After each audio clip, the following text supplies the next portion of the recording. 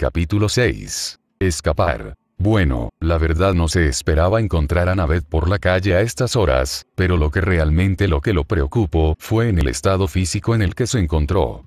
Estaba raspada por todas las partes de su cuerpo, y junto con su pelo desorganizado con sus ojos rojos aguados, en señal de que había estado llorando recientemente.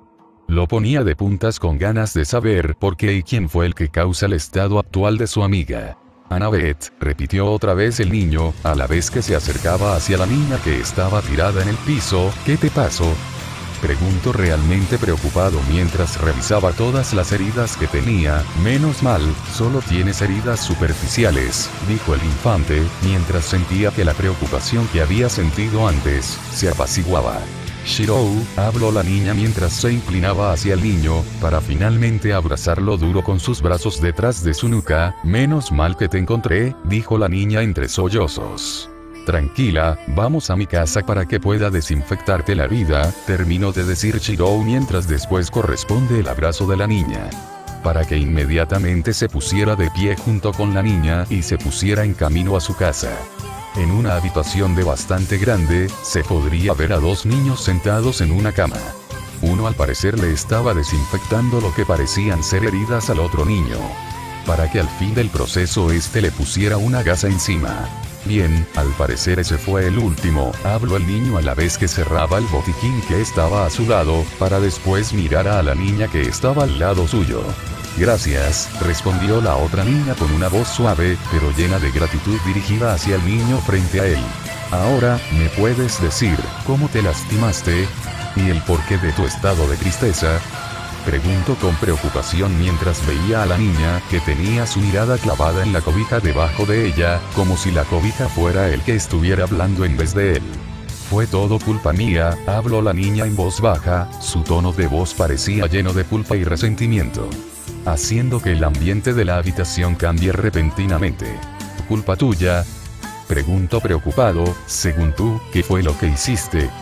Volvió a preguntar cada vez más rápido. Es mi culpa de que los monstruos aparecieron, volvió a hablar la niña, como si no hubiera escuchado las preguntas del niño, cuando llegué del colegio, todo estaba normal, empezó a decir la niña a la vez que su tono de voz cambiaba a una llena de arrepentimiento, se le pudo ver como las lágrimas empezaban a bajar por los lados de su cara. La verdad no sabía qué decir, la situación empezaba a preocuparlo.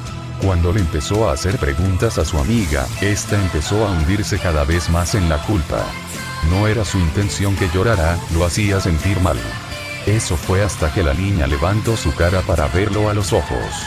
Dime, Shirou, ¿crees en los dioses? Preguntó repentinamente la niña, con una cara de seriedad repentina. Sabía que, si respondía mal, esto podría acabar de una manera que nadie quisiera que sucediera. Por un lado, estaban las claras señales de que los dioses podrían ser suposiciones humanas para explicar lo que sucedía en el mundo. Pero rápidamente pensó en Gaia, aquella entidad que limitaba las acciones de los magos en las diferentes aplicaciones que se le pudieron dar a Lou. Así que peso, si existe una deidad, ¿por qué no dos o más? La respuesta ya la tenía más que clara. Sí, sí creo en ellos, respondió rápidamente el niño mientras él devolvía la mirada a la niña. Después de responderle, Annabeth le explicó lo poco que sabía del mundo que rodeaba a los dioses. Dice que ella era una semidiosa, a causa de un amor entre un dios y una mortal. Pero que en realidad no sabía de quién era hija, ella suponía que podía ser hija de Atenea ya que se dice que la apariencia de ella cuando es mortal, es de una mujer con el pelo rubio rizado, con unos ojos grises que descubrieron inteligencia y sabiduría.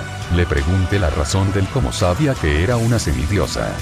Ella rápidamente me respondió que a los semidioses se les caracterizaba por el fuerte olor que ellos descubrían ya que, al ser una combinación entre un mortal y un dios, estos se vuelven más apetitosos y deseados por los monstruos criaturas espeluznantes, cosas que ni la imaginación más bizarra pudiera ser capaz de imaginar.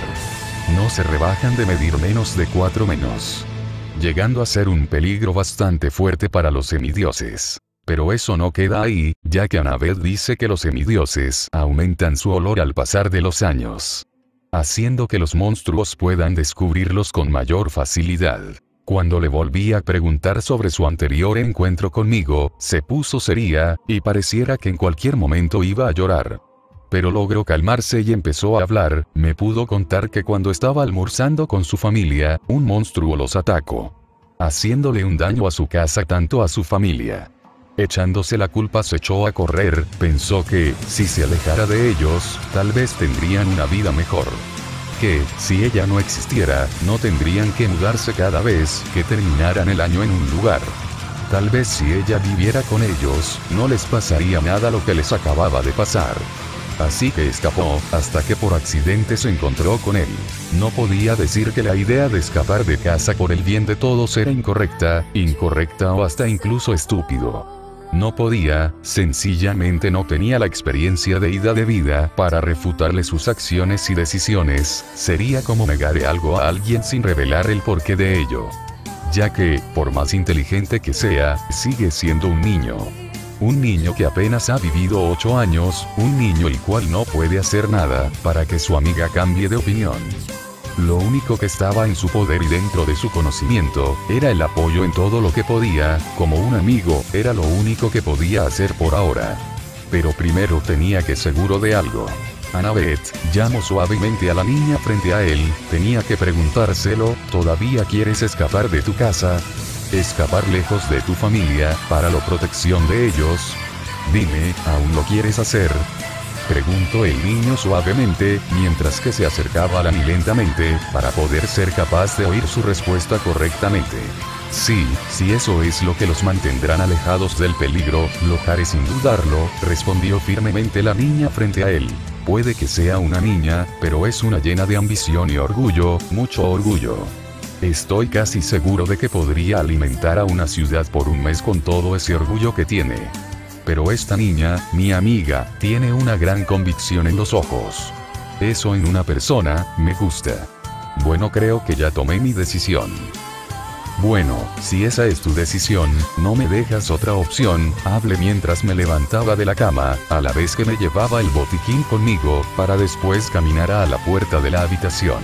Un rato después subí con una maleta llena de lo que se necesitaría en caso de una expedición, cosas como vendas, agua, comida, entre otras cosas, los recursos nos durarían un par de semanas. Después de eso tendremos que arreglárnoslas por nosotros mismos. ¿Qué es lo que llevas en la maleta? Preguntó a mientras veía cómo cogía un lapicero y empezaba a escribir en una hoja cosas que necesitas para sobrevivir genio, le dije con un tono divertido en la voz, al parecer había tocado un poco su pozo sin fondo de orgullo, no creerás que te dejaré ir sola, así como así, volví a hablarle una vez que había finalizó la carta, dejando al lado de este el lapicero con el que había escrito, después de todo, para eso están los amigos, le respondí mientras me daba la vuelta con una sonrisa en mi cara. Al parecer mi acción la había sorprendido un poco, pero tiempo después me devolvió la sonrisa y me dijo. Gracias, Shirou, dijo mientras se paraba y se retiraba de la habitación, juraba que podía escucharla decir que me apurara. Al parecer se le había subido el aniño, espero mantener esa actitud por un buen tiempo, solo espero que mi maestra haga un escándalo por lo que voy a hacer.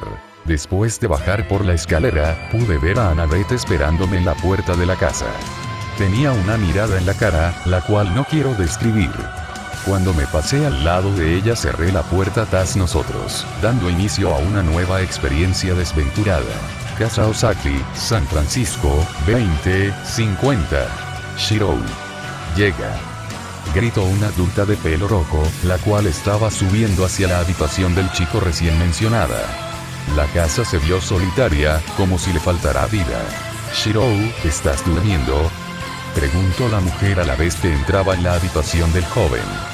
Viendo que ésta estaba sola, se fijó en un pedazo de papel que estaba encima del escritorio del niño. Encaminándose hacia la carta, la cogió y la empezó a leer. Maestra, me voy de viaje durante un tiempo. Si sé lo que estás pensando, ¿qué clase de niño idiota se iría sin pensarlo? Pues ese sería yo, la razón por la que me voy temporalmente, tiene que ver con un amigo que tiene problemas varios problemas, y no puedo dejarla así, sola y sin compañía.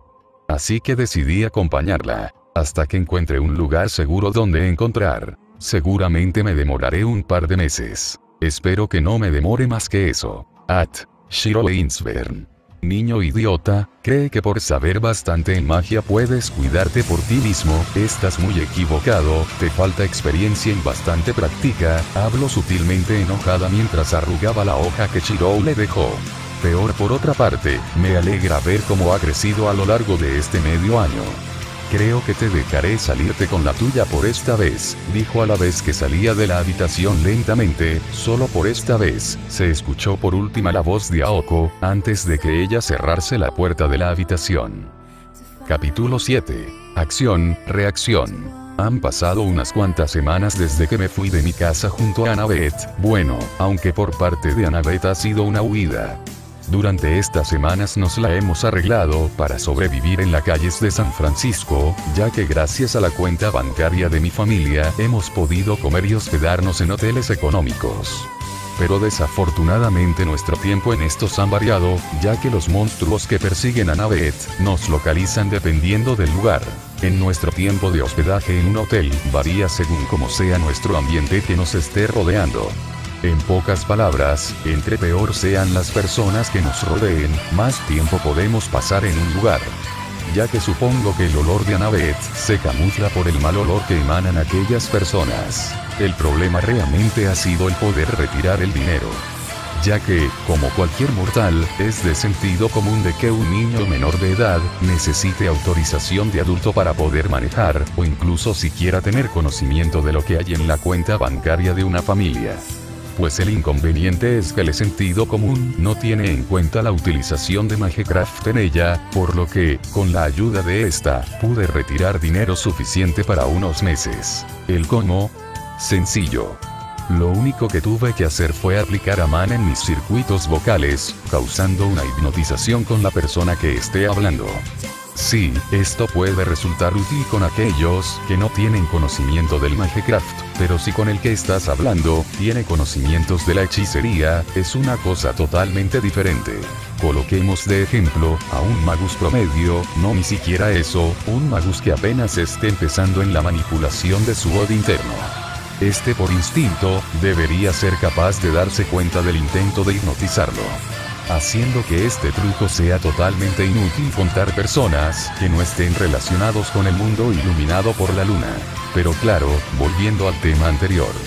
Primero tenía que gastar lo que llevaba en la maleta, ya que esta la llené de provisiones antes de salir de mi propia casa, sigo pensando si mi maestra estará enojada conmigo pero para que no se me dañara la comida, puse un campo acotado sobre la maleta, así pudiendo ser capaz de manipular el tiempo de estas, haciendo que el tiempo de caducidad se aplace el tiempo que quiera.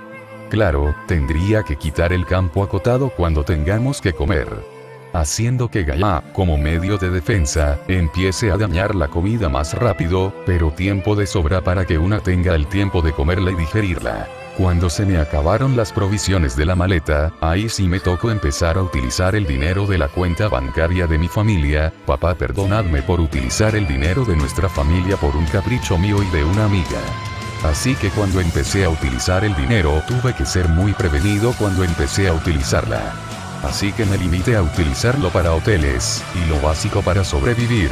A lo largo de estas semanas, he simpatizado y estrechado más los lazos con Annabeth, o eso es lo que creo. La verdad es una muy buena compañía, te mantiene entretenido mientras habla, te cuenta de historia que ha leído, libros que le gustarían leer, lugares que le gustarían visitar. Puede que tenga orgullo tremendo, pero eso no le quita de que sea una buena persona. Pero bueno, nuestra situación actual no es la mejor que digamos. Era un día soleado, las calles estaban pobladas de gente, parecía buena idea salir a caminar, o incluso a comer algo. No me parecía mala idea, podría camuflar el aroma de Annabeth por medio de la gente que nos rodeaban, que, aunque no fueran malas personas, tienen un fuerte aroma mortal, lo que nos facilitaría a la hora de escapar si es necesario. Habiendo pensado esto le sugerí la idea a Annabeth, al parecer se lo tomo bastante bien. Ya que, en vez de responderme, simplemente me tomo de la mano y me saco de la habitación, creo que le gustó bastante mi idea. Minutos después, ya se nos veía en un parque, sentados en una banca, comiendo crepe. No lo malentiendan, no estoy malgastando nuestro dinero ya que esto prácticamente entra en mi presupuesto de comida, en pocas palabras esto sería considerado como nuestro desayuno, prácticamente. Oye Annabeth, le llamé mientras mordía un pedazo de icre, ¿por qué los dioses dejan a sus hijos con sus padres mortales? ¿Acaso, no les gusta criar a sus hijos? Le pregunté lo más casualmente posible para que no se sintiera presionada a responder. La verdad, no lo sé, respondido calmadamente mientras también le daba un mordisco a su crepe, creo que solamente no pueden, terminó mientras me volteaba a ver. Realmente me sorprendió su respuesta, no solo por la razón de que una hija de Atenea me respondiera con un no sé. Parecía sincera, no había una pizca de orgullo en lo que decía. Realmente, una persona puede dejar su orgullo a un lado, para así hablar con toda sinceridad. Peor creo que esta es una oportunidad única, así que no lo voy a desperdiciar, lo dejaré fluir. Tal vez tengas razón, pero tal vez no la tengas, dije mientras seguía comiendo mi crepe. En realidad la respuesta varía según de dónde se origina la respuesta, pero también puede cambiar dependiendo de la interpretación de quienes lo reciben. Terminé mientras me ponía de pie, para poder botar el papel de crepe. Sí, tal vez tengas razón de eso, me respondió Annabeth mientras me seguía, para también botar el papel de la crepe, lo único que espero es que no sea la mala opción, finalizo botando el papel a la basura. Seguimos hablando, hasta que me di de cuenta de que el aire se empezó a saturar a demana. También podía oler de que el aire tenía un clásico olor a, como decirlo, a vaca asada pero a lo lejos pude ver como una neblina se empezó a expandir, me empezó a preocupar. Cuando aparece la neblina, nunca es bueno, más si tengo a Naveta a mi lado, lo cual significa, que lo más probable es que sea un monstruo. Más tarde, cuando la niebla nos empezó a rodear, pudimos observar como una figura de por lo menos unos 3 metros, empezaba a salir de esta. Solo se podía ver la silueta de algo caminando entre la niebla. Podíamos saber lo que era, pero definitivamente no es amigable. Tenemos que irnos de aquí. Annabeth, le dije suavemente, pero al parecer no estaba reaccionando, no me estaba gustando esto. La sombra se acercaba cada vez más. Mi minotauro, dijo entre tartamudeos mientras en su cara le empezaban a salir lágrimas, a la vez que sus piernas empezaban a temblar. Oh. Esto definitivamente no me está gustando. Piensa Shirou, piensa. ¿Por qué no se me ocurre algo ahora? La sombra se empezaba a acercar más hacia nosotros. Bueno, según el libro que me regaló Annabeth, un minotauro es la fusión de un hombre con un toro. Naturalmente esta se les conoce por tener piernas de humano, con torozo de toro. Estos por lo menos miden 3 metros, haciéndoos capaces de portar armas, volviéndolos realmente peligrosos. Mientras seguía pensando, paralizado al lado de la basura junto a Annabeth pude ver como la niebla se despejaba levemente, dejándose ver a una criatura de 3 metros y medio, torso de humano, piernas de humano, brazos de humano, pero el resto era de un toro.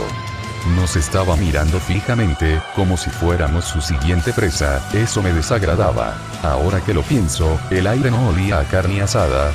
Creo que ahora sé la respuesta de por qué. Annabeth tenemos que irnos. Ahora.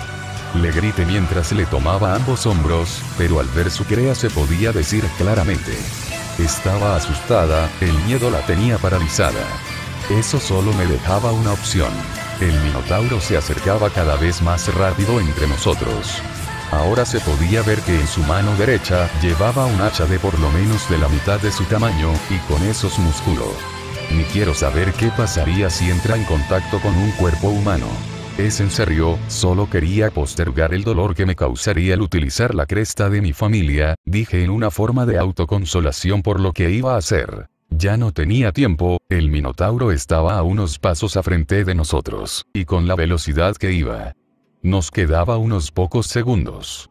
No queda de otra, dije para mí mismo, mientras colocaba a Navete en mi espalda, la cual inconscientemente se agarró a mí, para después mirar a frente y decir, si quieres mi deliciosa carne, no te la daré tan fácil.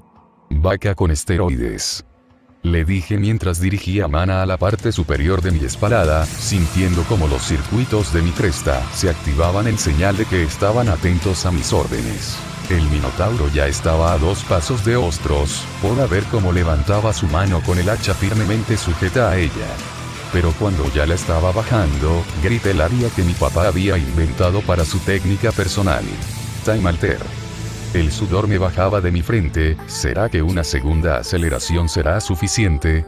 Es que literalmente estoy tratando de huir de un minotauro que mide más del doble que yo.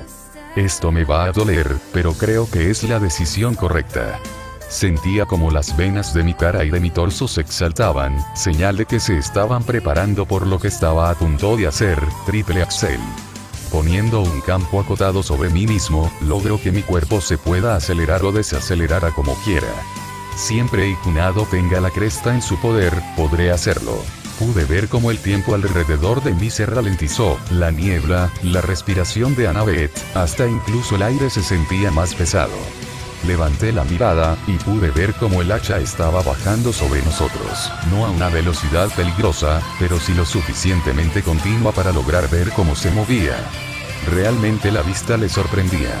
Podía ver cómo las gotas de agua acumuladas en la niebla se partían en dos por la fuerza ejercida en el ataque pero no tenía tiempo para distraerse, entra más se quede acelerado, más le dolería cuando lo desactive. Así que sin pensarlo mucho, salió corriendo fuera de la vista del monstruo. Un rato después de correr, se detuvo adentro de un callejón, en el cual en el fondo tenía un letreo que decía Herrería Richmond. Así que sin pensarlo mucho entró, entró y se sentó en una silla que estaba al lado de la puerta. Claro no sin antes dejar a Naved sentada en el piso. Realmente es divertido ver cómo su cara se mueve lentamente, cambiando de expresión de una triste a una enojada, y la enojada impresionada, preparándose mental y físicamente para lo siguiente. Desactivó el campo acotado sobre su cuerpo. Y lo que sintió después, no fue nada bonito, sintió como una de sus piernas se fractura, mientras que a la otra se le desgarraba parte de un músculo. Por otra parte, en su torso sintió como su corazón le empezaba a dar taquicardia, y junto con unas costillas magulladas, no era nada bonito. Sus brazos y cabeza no sufrieron mucho más, aparte de un leve entumecimiento. Se encontraba de maravilla. Lo único que disfrutó fue ver cómo el tiempo alrededor de él empezaba a volver a su rumbo normal. Claro, también disfruto de la expresión de Annabeth. ¿Qué acaba de pasar? Gritó fuertemente a la vez que se paraba mientras observaba en el lugar en donde se encontraba. Te puedes, no me dejo terminar, ya que siguió gritando. Todo empezó cuando me subiste a tu espalda. Después de eso, lo único que podía ver era las personas y edificios pasando al lado de nosotros. Solo para después parar repentinamente en este lugar. Gritó, mientras avanzaba hacia mí. Ya terminaste, le pregunté, realmente me sentía mal, la taquicardia ya pasó. Lo que realmente me está matando son mis piernas. Tener una fractura y un músculo semidesgarrado no es bonito. Su cara de asombro se quitó rápidamente cuando me vio totalmente. Supongo que como me veo ahora no es bonito. Seguramente esté sudando frío, junto con las ojeras que me deben estar apareciendo debajo de mis ojos a causa del dolor ya que lo que realmente tengo es un daño interno, pero eso no quita los síntomas que se producen al tener un daño de este calibre. Creo que me va a empezar a dar fiebre. Shirou. Grito preocupaba mientras me tocaba el hombro. Corrección también tengo un hombro dislocado. Ah, Grité mientras apartaba la mano de Annabeth bruscamente de mi cuerpo, lo siento, solo estoy poco herido por lo que acabo de hacer, le dije mientras le daba un intento de sonrisa para tranquilizarla. Pero al parecer eso solo la asustó más. Un poco herido, un poco herido. Gritó mientras levantaba sus brazos formando un puño, estás más que herido. Pareciera que estás a punto de morir. Volvía a gritar a la vez que me señalaba con su dedo índice. Mejor razón para que dejes de gritarme y me ayudes. Le grité de vuelta, creo que la sorprendió. En realidad, las heridas que estoy sufriendo no me causarían una muerte, solo un lento sufrimiento. Al parecer se dio cuenta de lo que estaba haciendo, ya que se sentó en el piso al lado mío, con los brazos cruzados sobre su pecho a la vez que me miraba. Lo siento, se disculpó mientras me miraba, para después colocar una mirada que exigía explicaciones, te ayudaré, pero eso no significa que te libraste de unas buenas explicaciones, terminó mientras miraba mi deplorable estado. Está bien, pero primero tengo que recuperarme para poder dar respuesta, ¿no crees? Le dije mientras ponía una mano sobre mi hombro, pásame un trapo, le dije mientras ella se iba en busca del trapo. Unos minutos traía un trapo junto varias cosas más, la verdad la cantidad de cosas me impresionó, al parecer una niña tiene más fuerza de lo que aparenta. Saca el botiquín que tengo en mi maleta, le dije mientras me colocaba el trapo en la boca, bueno, a las una, a las dos, a las tres grité mientras ejercía fuerza en mi hombro, haciendo que se produjera escalofrío en cualquier persona que estuviera viendo. Pero para mí, no solo fue el escalofrío, sino que también el increíble dolor que sentí. Lo bueno es que el dolor no dura mucho. Después pensé que hacer eso sin una experiencia o un significante conocimiento en la rama de la medicina fue realmente estúpido. Aparte el dolor es mayor de lo que me imaginé, dudo que pueda volver a hacerlo solo. Pero oye, realmente me cuadré el hombro solo y al parecer lo hice bien. Al voltear mi cabeza, no pude evitar reírme. La expresión que tenía en su cara era única, tenía una cara blanca como si fuera un fantasma, parte de su expresión de impresionada. Pero al parecer mi carcajada la hizo salir de su trance. Estás loco. Grito, pudiste haber quedado incapacitado de ese brazo por el resto de tu vida. Volvió a gritar esta vez mientras apretaba el botiquín, él no tenía la culpa de su carácter. Sí, pero terminó bien, ¿no ves? Le dije mientras movía mi hombro sin ninguna dificultad. Mientras movía sus brazos, se vio que los efectos que le produjo la taquicardia, ya se habían ido de su cuerpo. Ahora los verdaderos problemas eran sus piernas. Listo, ahora pásame las vendas y la órtesis para la tibia, le dije mientras movía mi pierna con la fractura, para que después ella me pasara lo pedido. Listo, ahora tengo que vendarme, y justo encima colocarme la órtesis. Hecho mi pierna fracturada estaba estabilizada, ahora solo falta la otra. Ahora solo falta la otra, se dijo a sí mismo, pero Anabel lo alcanzó a escuchar. ¿Qué harás con tu otra pierna? Le pregunto mientras volvía a guardar el botiquín en la maleta.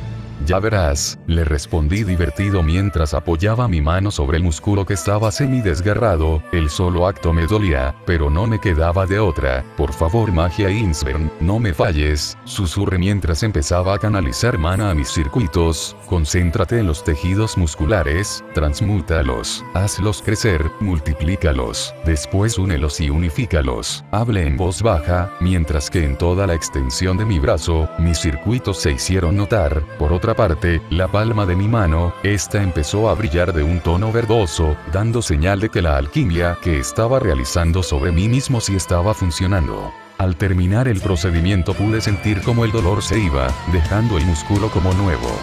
Desgraciadamente no puedo realizar eso con mi hueso fracturado. Mi conocimiento en la hechicería de curación no es muy amplio que digamos, de hecho, lo que acabo de hacer fue experimentar sobre mí mismo lo cual es bastante peligroso. ¿Qué fue lo que hiciste? Preguntó Annabeth exaltada por lo que acababa de hacer. Su curiosidad asaltaba de nuevo a mi ser. Es cierto, te debo una explicación, le respondí mientras movía mi pierna recién curada. Me parece bien, te diré qué es lo que acabo de hacer. Pasaron unos minutos explicándole a Annabeth qué fue lo que acabo de hacer. También le conté todo lo que sé sobre lo que está relacionado con el mundo iluminado por la luna.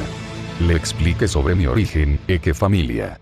Y sobre lo que sé de mi padre, pero que nunca conocí a mi madre.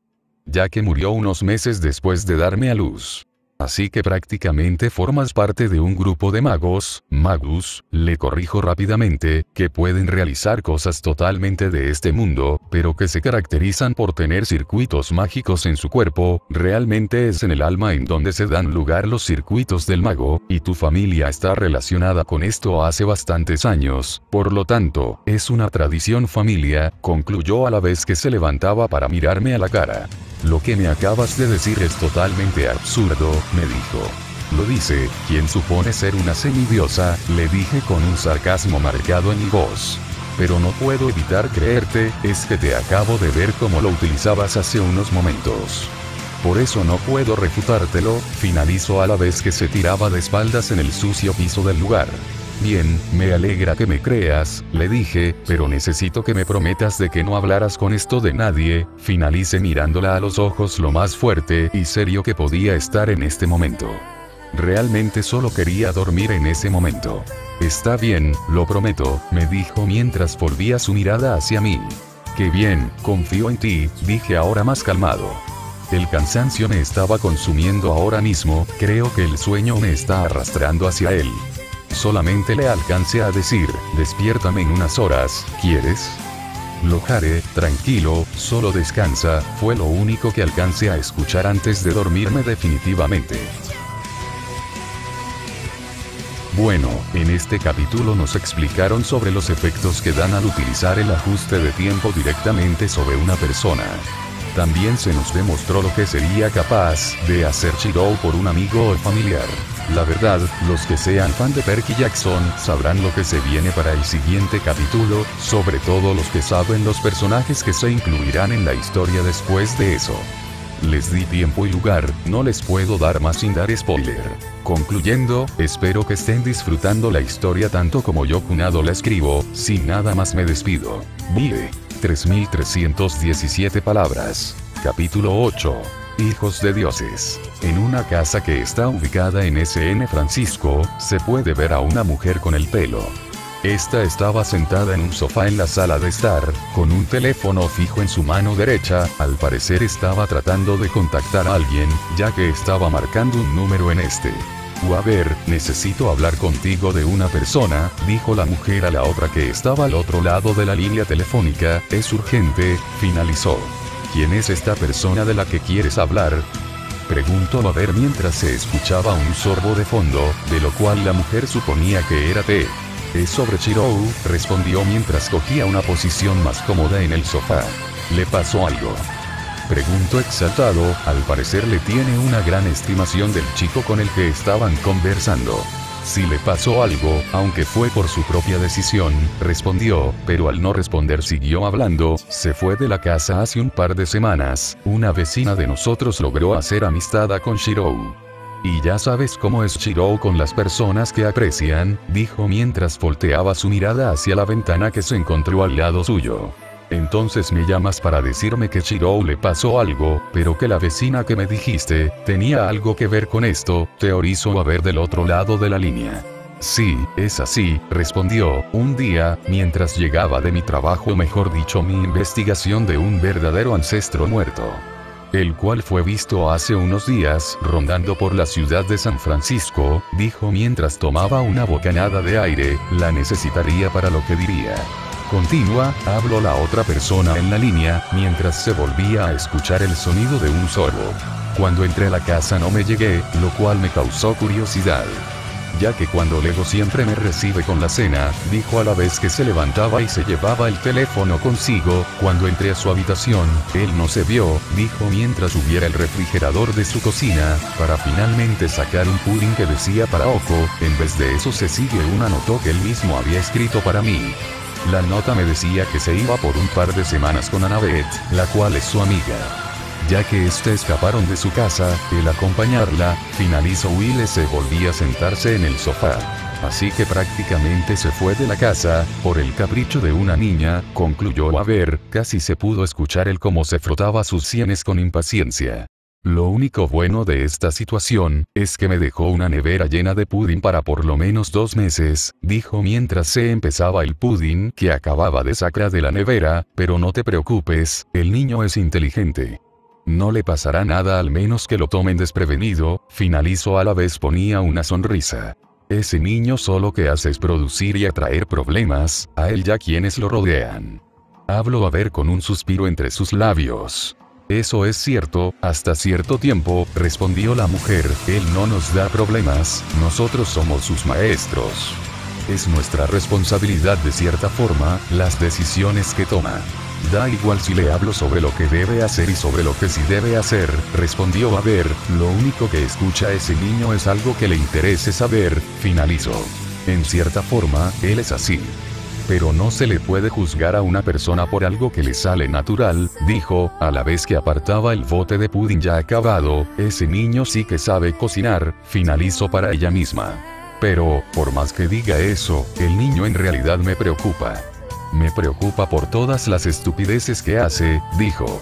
A ese niño no le va a suceder nada malo, apoyo, ya que, a final de cuentas, Shirou no es un niño cualquiera.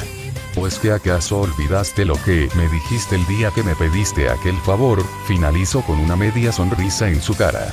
Claro que me acuerdo, dijo, todavía me sorprenden los resultados de aquella prueba. 1 de enero de 2003 Torre del Reloj.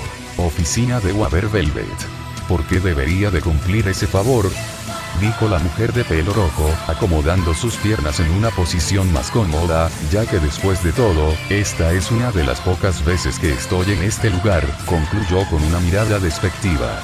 Será mejor que lo veas por ti mismo, dijo ver con un suspiro, para después abrir un cajón de su escritorio. A mi sobrino se les hizo unas pruebas para definir su estatus de magus, ya que la torre del reloj me lo estaba pidiendo, habló, para finalmente sacar unas hojas copiadas, y ofrecérselas a la mujer que tiene adelante. Está bien, me está interesado. Lo leeré, dijo para coger los papales y empezar a hojearlos.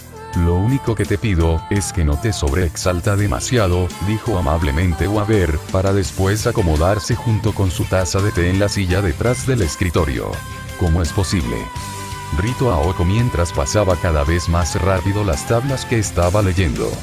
Solo para detenerse en una, esto es un milagro, esto para verse en un magus es casi imposible, dijo ella mientras miraba directamente a los ojos de Waver. Lo más probable es que se atribuya es que su madre fue un homúnculo hecho por Weinsberg, ya que esta fue la catalizadora que se obtuvo para invocar al Santo Grial, en la Cuarta Guerra del Santo Grial, respondió mientras cruzaba sus manos sobre su cara, pero eso no termina de explicar todos los resultados de esa hoja, concluyó para después devolverle la mirada. Me estás diciendo que soy la única que puede sacarle todo el potencial a este niño, dijo mientras depositaba los papeles encima del escritorio, para después mirar a Waver a los ojos, no solo por la experiencia a lo que respeta en la manipulación del tiempo, sino porque soy la única que puede exprimirlo. Pero entonces me pregunto, ¿por qué no mi hermana?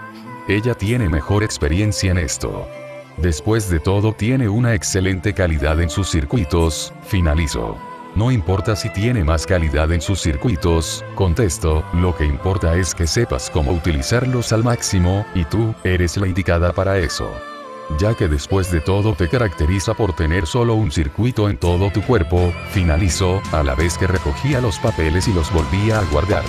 Ya veo, alcanzó a contestar para después estirarse en la silla en donde estaba, el niño ya lo sabe, preguntó lentamente, sin mirar a Waver, ya que su cabeza y mirada apuntaban al techo.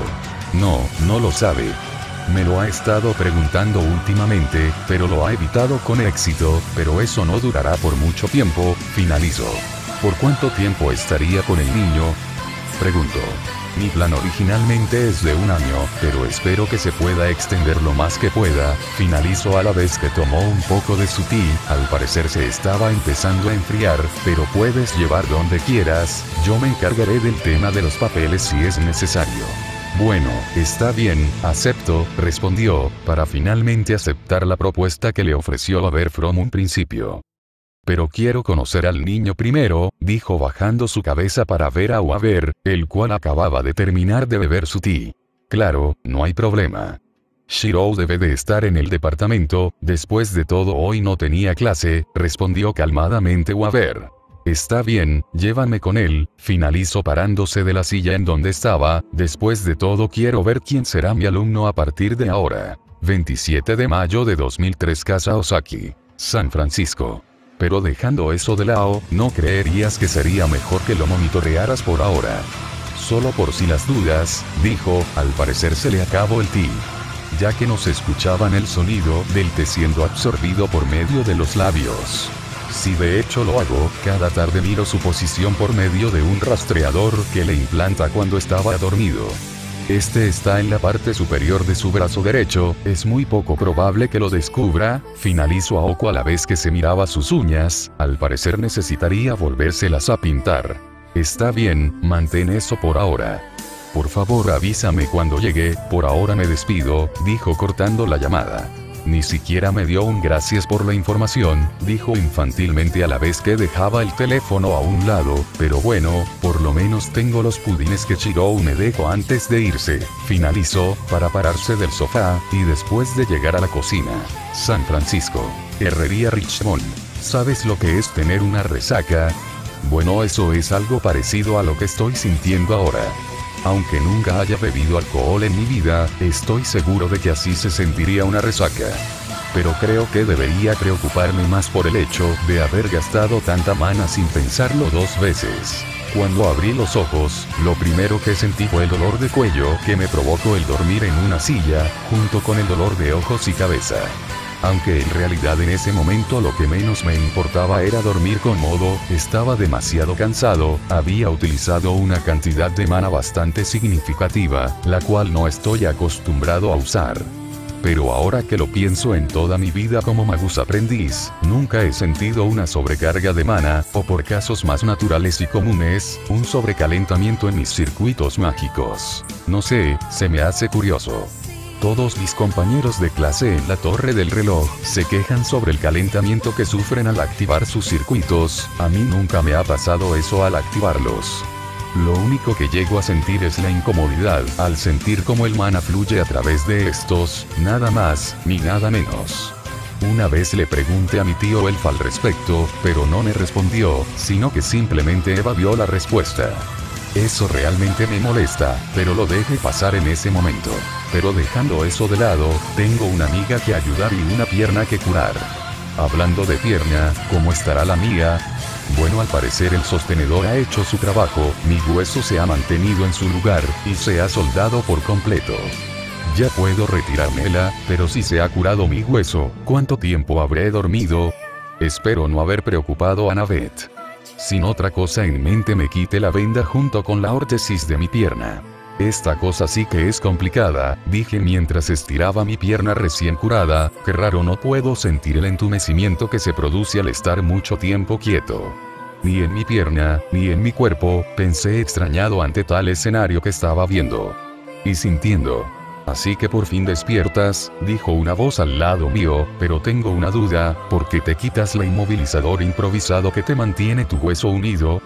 Pregunto curioso. Volteé mi cabeza curiosa hacia la dirección de la voz, no voy a decir que me impresionó ver a Annabeth tirada en el piso con una manta vieja, la cual supongo que sacó de por ahí. Rodeándola para que no le dé frío pero el problema es que estaba justo al lado de la silla en donde me resultó, en realidad esos ojos grises dan miedo si te miran directamente a tus ojos. Su cabello estaba esparcido por todo el piso, enredado en algunas partes, lo cual le daba un toque cómico a la situación, pero no lo suficiente para hacerme reír. ¿De qué estás hablando? Mi hueso ya soldó, le respondí, a la vez que me paraba de la silla para reforzar mi punto. Lo único que pude ver en su cara fue una expresión de sorpresa, solo para que después se calmara otra vez. Eso es biológicamente imposible, hace tres horas que te dormiste, es imposible que un hueso suelde de manera tan rápida. Pero con lo que me acabaste de confesar, creo que eso no te incluye en eso, finalizó a la vez que también se paraba de donde estaba para después de llegar a donde estaba. Cuando te acostaste a dormir, repentinamente empezaste a sudar. Así que te empecé a tomar tu temperatura por medio de contacto físico, dijo mientras me levantaba el pelo de la frente y me colocaba la mano en esta. Efectivamente te empecé a dar fiebre, yo como una buena amiga empecé a buscar en el botiquín que saqué en la maleta, continuo a la vez que retiró su mano de mi frente, solo para volver su mirada hacia mí. Pero repentinamente la fiebre que tenía se comenzó a bajar repentinamente, finalizó, no sé qué fue lo que hiciste, o qué fue lo que sucedió. Lo único que me importó fue que estuvo bien, dijo con una sonrisa en su cara, pero repentinamente su sonrisa cambió a una aterradora, así que, para volver a evitarnos todos estos inconvenientes, te prohíbo. Te prohíbo. A volver a utilizar ese hechizo, ¿entendiste? Me dijo mientras me cogía del cachete y me lo empezaba a jalar. En realidad, desde cuando una niña de 7 años puede dar tanto miedo. Además, tiene una fuerza increíble, mi cachete se siente como si se fuera a ser arrancado de mi cara. ¿Sí? Lo prometo. Peor por favor, no me jales más el cachete. Le supliqué con dificultad, solo para que después me golpee el brazo y me suelte el cachete con brusquedad. Lo peor de todo es que ella es más baja que yo. Pequeña pero peligrosa. Después de eso seguimos hablando, claro no se calmó fácilmente. Pero después de prometerle unos cuantos dulces se pudo calmar.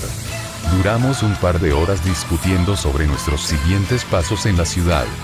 Finalmente llegamos al acuerdo de que íbamos de esta, y que íbamos a establecer en algún lugar del campo.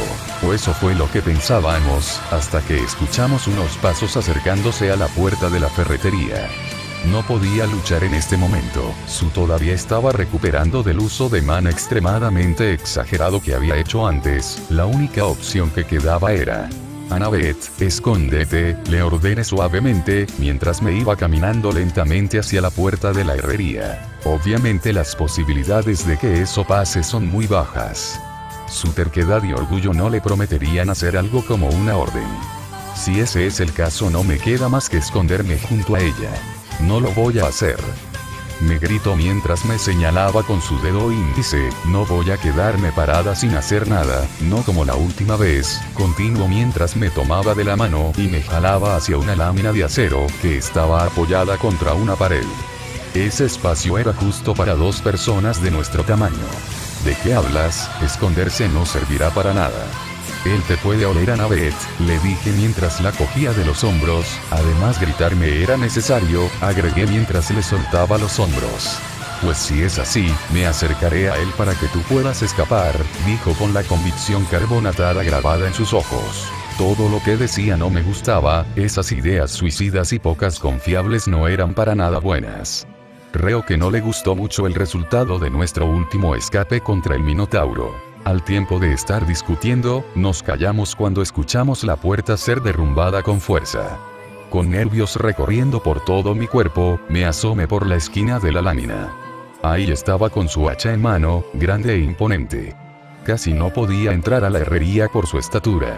Eso nos daba ventaja si queríamos escapar, después de todo no estamos en condiciones para pelear. Pero en serio, sabía que el escape solo sería una forma temporal de bibliotecanos de ese minotauro. Pero no caía en cuenta de que él no es una persona normal, claramente con sus ventajas físicas nos encontraría mucho más rápido. Lo bueno es que los toros no se caracterizan por su sentido del olor. Espero que, por su parte de toro, eso también se pueda aplicar en él. Cuando me volví a acomodar debajo de la lámina de acero, Annabeth me estaba mirando fijamente. Lo único que espero es que no vaya a ser una estupidez. No vayas a hacer una estupidez, me lo mismo dijo que estaba pensando por medio de un susurro, solo para que ella después se alejara y se escondiera atrás de una mesa. Esta niña, me queje para mí mismo. Si no puedo utilizar directamente la cresta sobre mi cuerpo, entonces lo haré con el ambiente. Puedo colocar un campo acotado que solamente rodeó la herrería, atrapando al minotauro con todo lo que esté dentro en una burbuja de tiempo. Haciendo que todo lo que esté dentro vaya a un flujo 10 veces más lento de lo habitual, probablemente el único involucrado en eso sería el minotauro. Cuando lo desactivé empezara a sentir los ajustes que le hace Gaia para que no esté fuera de la fluctuación de tiempo que debería estar. Bueno eso es lo que haré, pensé para mí, o eso fue hasta que vi a Annabeth coger un martillo que estaba encima de la mesa en la que estaba escondida, no lo hagas, pensé. Pero no fue necesario, ya que el Minotauro captó el movimiento que produjo la acción anterior produciendo que se acercara lentamente a donde estaba Navet. Cuando estaba lo suficientemente cerca, se podía escuchar las respiraciones pesadas que producían sus fosas nasales, junto con el golpeteo que ocasionaba su hacha al chocar contra los diversos objetos de la herrería. Tenía que pensar en algo, mi plan del campo acotado se acababa de ir por el excusado otra manera de salir de esto, algo para distraerlo, o conmocionarlo por un momento. Lo tengo el hechizo en los cuales se especializan los Edelfelt, pero también es un hechizo que cualquier hechicero promedio puede realizar sin problemas. El cual causaría una leve queja a quien fuera que lo recibiera, claro en caso de ser un humano normal y corriente pero este no es el caso, estoy tratando de derribar a un minotauro, por lo cual debo utilizar bastante mana, a este paso voy a necesitar es un médico. Así que sin otra cosa en mente me salí de mi escondite, haciendo que el minotauro se fijea en mí. ¡Hey! cabeza de burro mal parido, le grité al minotauro para que se enfureciera y empezara a venir a donde yo estaba parado. Al voltear mi mirada pude ver a Annabeth, fulminándome con la mirada con sus dos manos apretando fuerte el martillo, solo para que devolviera mi mirada hacia el Minotauro. ¿Sabes cuáles son las ventajas de saberte de memoria y reforzar un hechizo que todos los hechiceros saben? Le dije al toro mientras me arremangaba mi camisa de mi brazo derecho, mostrando una runa que me grabé yo mismo en la parte superior de mi brazo, solo para que después la posicionara al frente mío en forma de pistola con mi dedo índice estirado. La respuesta es, dije mientras el toro empezaba a correr chocando contra todo lo que lo rodeaba, solo con el propósito de llegar a mí, que puedes convertirlo en tu mejor arma.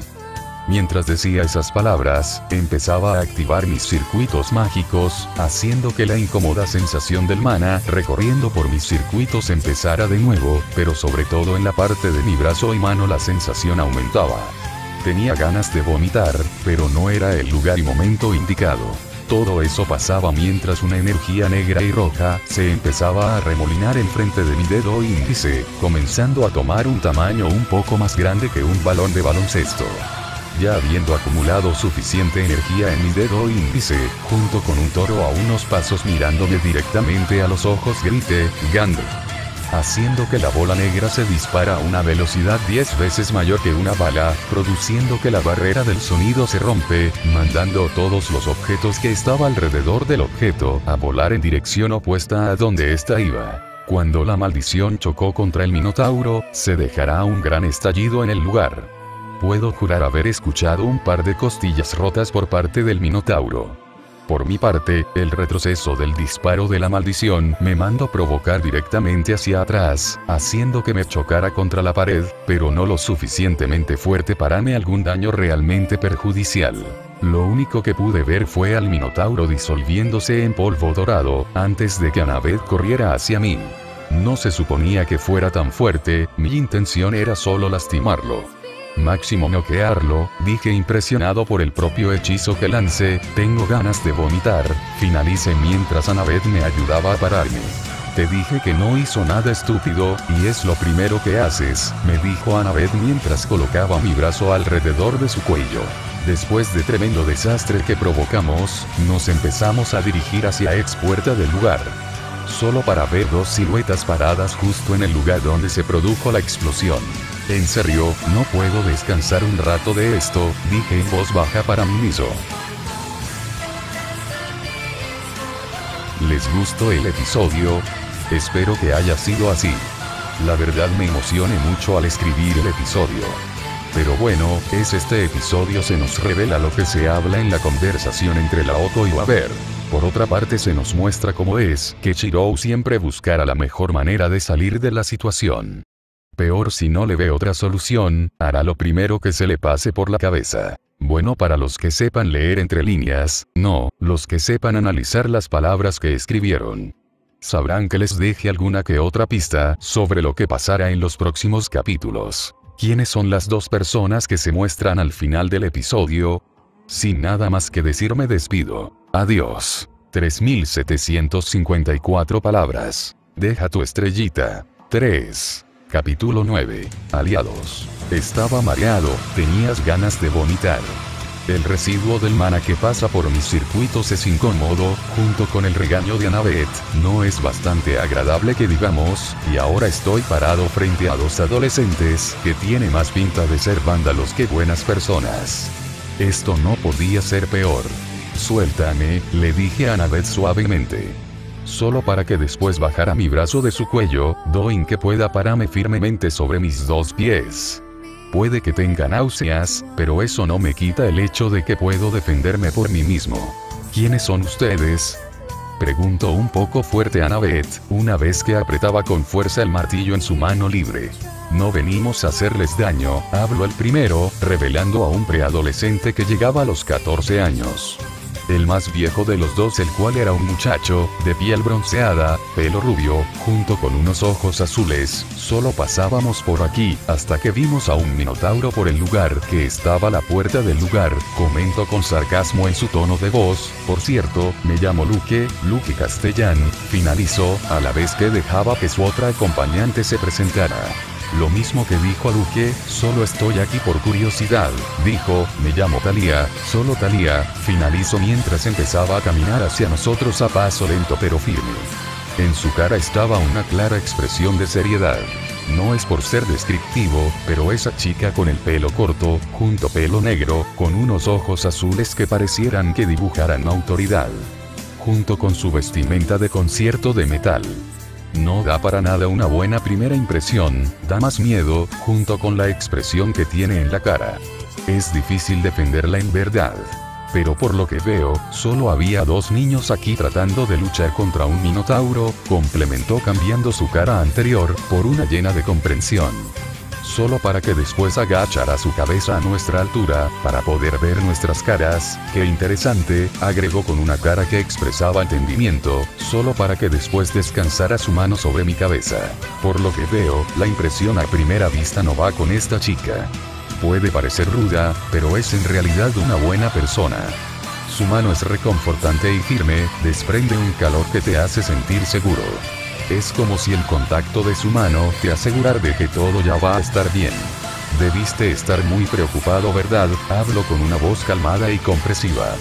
La verdad esas palabras me tocaron, sintió como si algo quisiera salir de mi interior, estar cargando con la preocupación, la obligación y el deber de proteger a una persona cercana para ti. Debió ser muy duro, ¿verdad?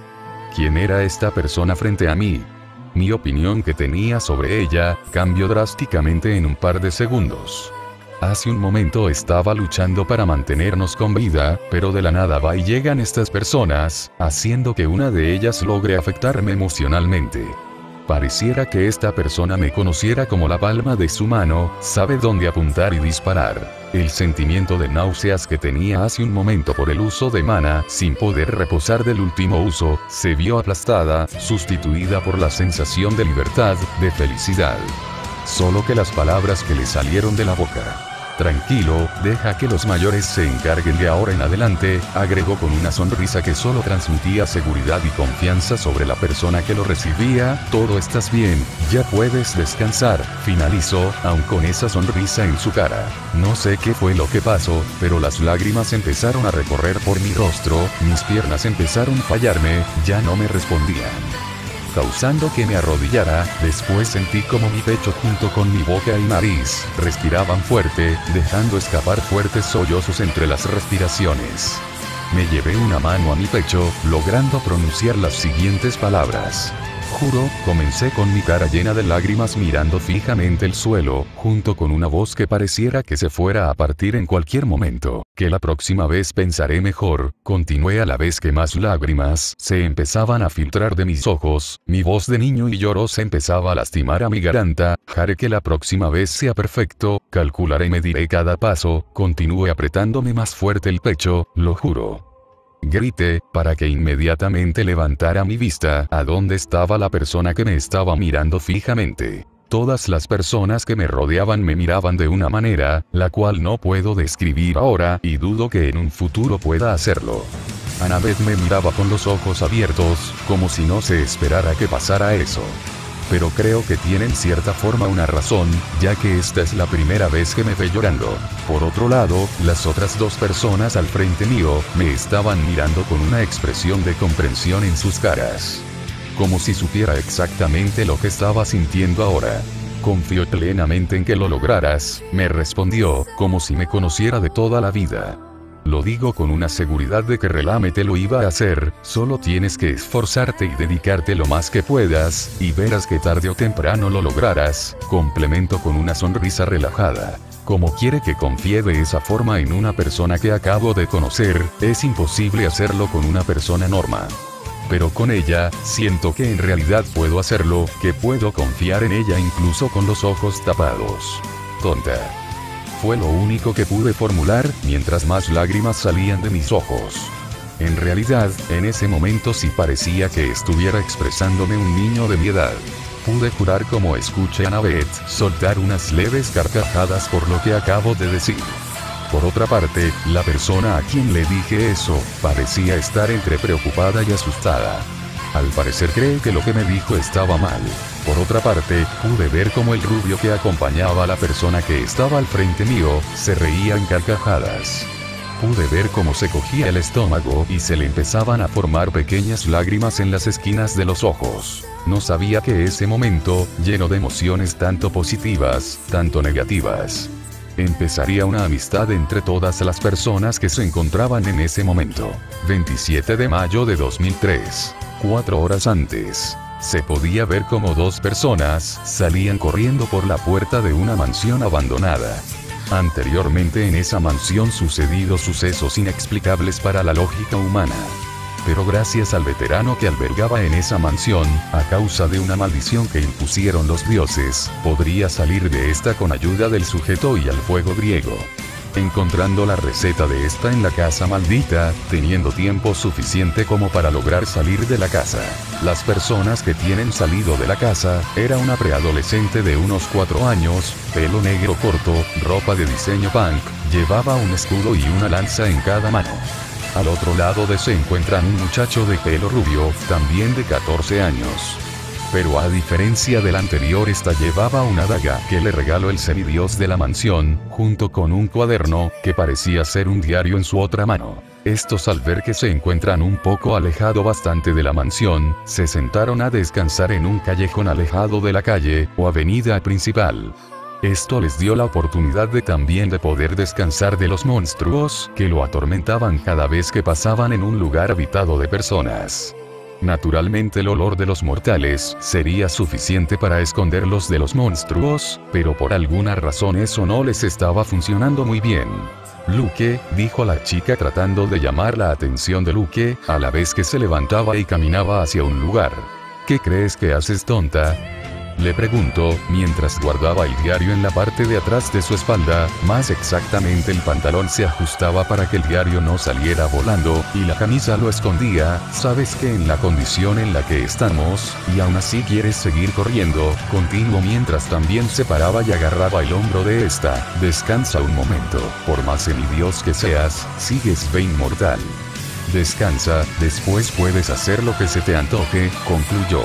Al parecer la respuesta que le dio su amigo la desconcertó totalmente, pero por otra parte tenía razón, estaba cansada, tenía hambre y sed. Pelear en contra de un monstruo en estas condiciones no es una muy buena idea. Tienes razón, descansemos, concluyó mientras se volvía y se apoyaba en la pared de ladrillos, la cual estaba mayoritariamente hecho el callejón en el que estaban. ¿Qué tenemos para comer hoy?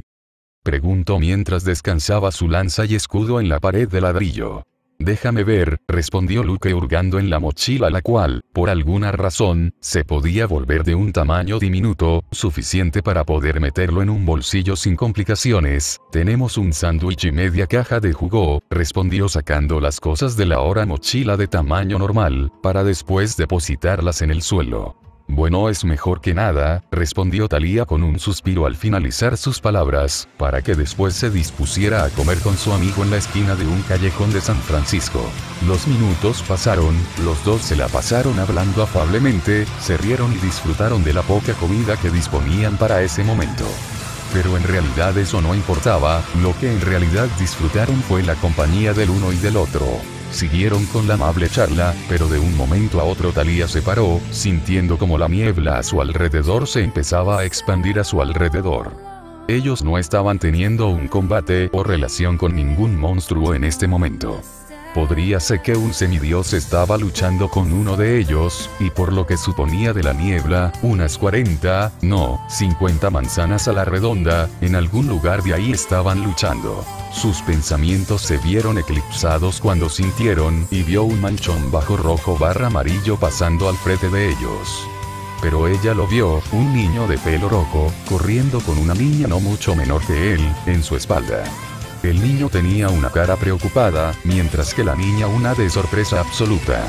Lo siguiente que logró ver, es como la mancha roja entraba a una ferretería abandonada el cual tenía el nombre de Herrería Richmond, solo para que después escuchara un gran golpe dando a entender que la puerta se había cerrado con fuerza, que venían acompañados con más sonidos que no pudo identificar en ese momento.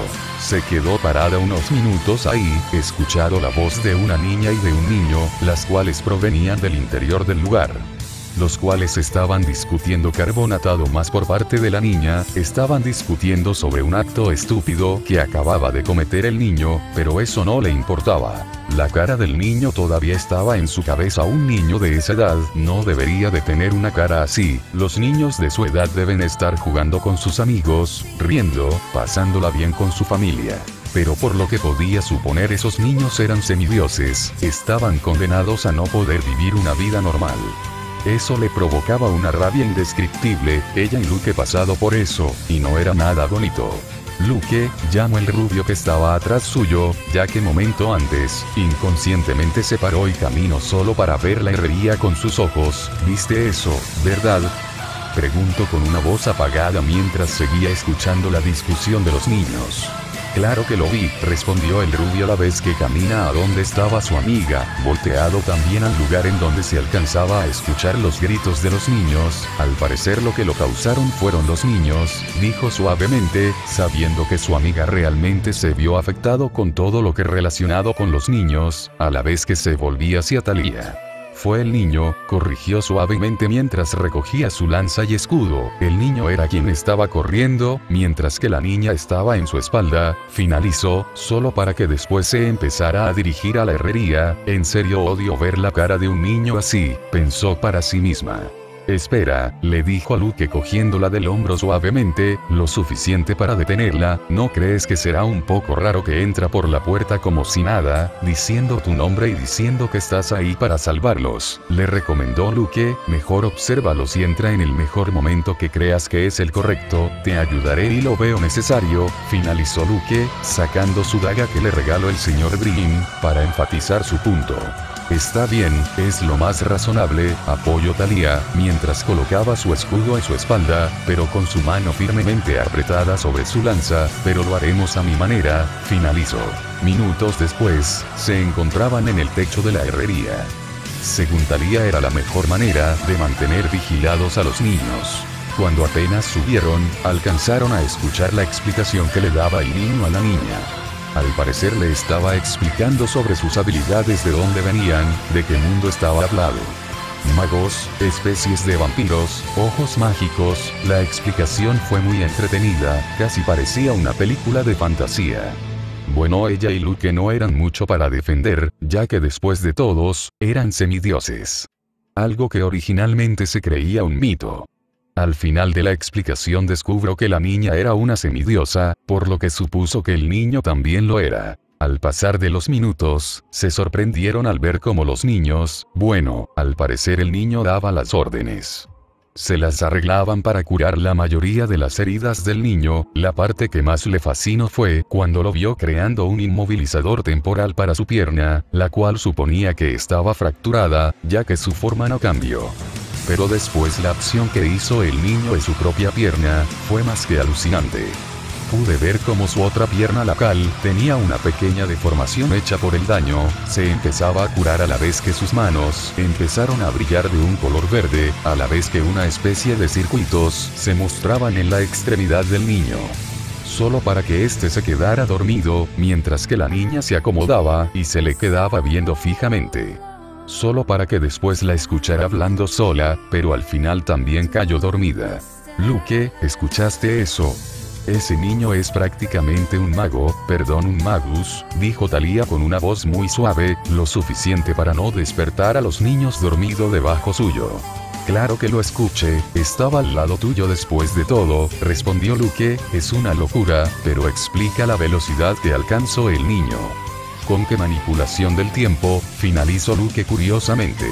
Pero me preocupa que tuvo que hacer para obtener algo así, y mira los efectos de usar la manipulación en su propio cuerpo, provocó que se dislocara el hombro, se fracturó su pierna, mientras que en la otra sufrió un semidesgarre.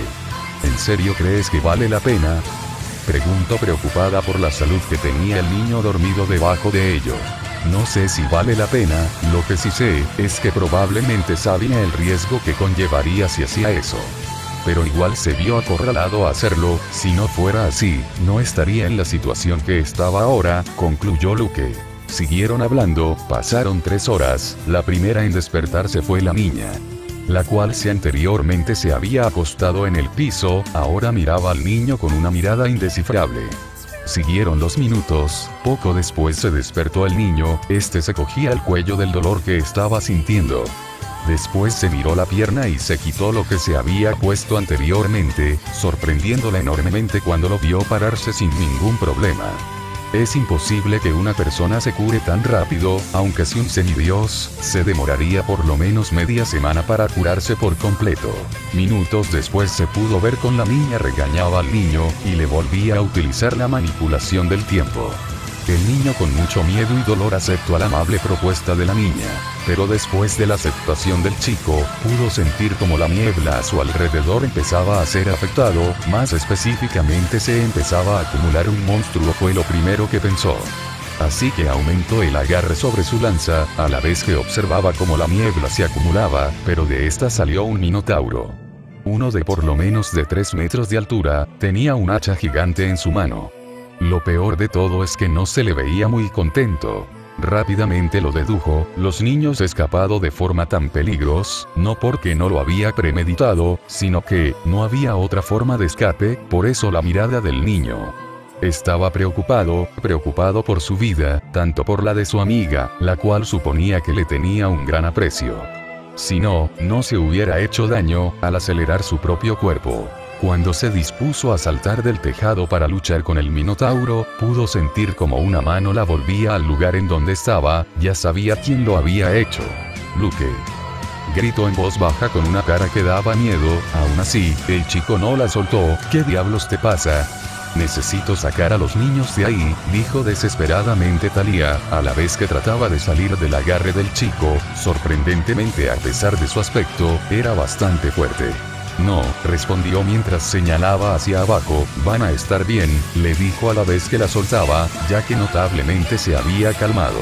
La razón de esto, es que los niños se encuentran percatados de la aparición del monstruo, por lo tanto, se escondieron, y al parecer estaban discutiendo un plan. O eso era lo que pensaban los chicos sobre el tejado. Después de la leve discusión, estos se separaron, el niño parecía estar pensando profundamente en su próximo paso ya que hace unos segundos el Minotauro pasó, pateando la puerta de la herrería, la niña se había armado con un martillo de forja, mientras que el niño observaba preocupado, él como el Minotauro se acercaba lentamente a donde estaba su amiga. Talía pudo haber jurado haber escuchado como el niño echaba a la basura el plan que tenía en mente para que después, antes de llegar a donde estaba su amiga, este se levantara y empezaba a hablar el Minotauro. El niño comenzó a levantarse la manga de su brazo, mostrando una clase de runa grabada en la parte superior de su brazo, solo para que después, colocara su dedo índice junto con el resto de su mano, en forma de una pistola.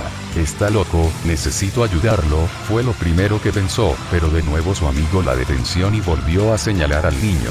Lo que estaba viendo era de otro mundo, podía ver como la runa y los circuitos en el cuerpo empezaban a brillar de un color azul, haciendo que, en la punta del dedo índice del niño, se empezará a acumular una energía de color rojo y negro. Acumulándose hasta llegar en el punto de un balón de baloncesto en tamaño, el minotauro más enojado que nunca comenzó a correr hacia el niño, a la vez que chocaba con todo lo que estaba en su paso. El niño se estaba colocando pálido, me preocupé por él. Pero repentinamente toda la preocupación se fue cuando gritó las siguientes palabras, Gandalf. Escucho decir al niño, solo para que después la energía saliera volando a una velocidad increíble. Lo único que alcancé a ver, fue como la bola destruía todo a su paso, incluyendo al Minotauro. El cual, al colisionar con la bola, salió volando, atravesando parte de lo que era una puerta y la pared dejando un gran hueco en esta, pero por parte del Minotauro, este había quedado clavado en la pared de ladrillo del callejón. El golpe y el daño fueron lo suficientemente fuerte para que este se disolviera en polvo dorado, dejando como trofeo de guerra, un cuerno. Pero por parte del niño, este había chocado contra el muro que estaba detrás del suyo ya que el retroceso de su ataque lo mandó para atrás, pero al parecer no se había hecho mucho daño, lo único malo que se le podía ver era su cara pálida, del resto nada. Luke, creo que es el momento oportuno para que nos revelemos, comentó, tratando de sonar lo más casual que podía en ese momento. pero antes de que su amigo pudiera reclamar algo, lo tomo de la mano y lo arrastro al lugar en donde estaba la puerta anteriormente, pero ahora solo había una cortina de humo. Pero antes de todo, decidió guardar el trofeo de guerra del Minotauro en la maleta de Luke. Más tarde se lo entregaría al niño que lo derrotó, ya que por derecho le pertenecía. ¿Quiénes son ustedes? Preguntó la niña, a la vez que apretaba el agarre fuertemente en el martillo. Quería hablar, pero Luke me quitó la palabra de la boca, bueno se lo perdonaría por ahora. Después de todo él sabe comunicarse mejor que yo. No venimos a hacerles daño, habló Luke calmadamente, la expresión de desconfianza en los niños no cambiaba, solo pasábamos por aquí, hasta que vimos a un minotauro por el lugar, que estaba a la puerta del lugar, comentó con sarcasmo en su tono de voz, por cierto, me llamo Luke, Luke Castellán, finalizó, dando paso libre a que me presentara. La mirada de los niños era de temer, pues era de esperarse, ¿quién confiaría en alguien que acababan de conocer? Necesitaba ganarme su confianza, tenían miedo, estaban asustados, eso era claro. Lo mismo que dijo a Luque, solo estoy aquí por curiosidad, dije, me llamo Talía, solo Talía, finalicé mientras empezaba a caminar hacia ellos a paso lento pero firme.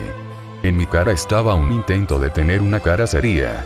Pero por lo que veo, solo había dos niños aquí tratando de luchar contra un minotauro, complementé cambiando mi cara anterior por una llena de comprensión solo para que después agachara mi cabeza a la altura de ellos, para poder ver sus caras más de cerca, qué interesante, agregué con una cara que expresaba entendimiento, solo para que después descansara mi mano sobre la cabeza del niño con el pelo de color rojo.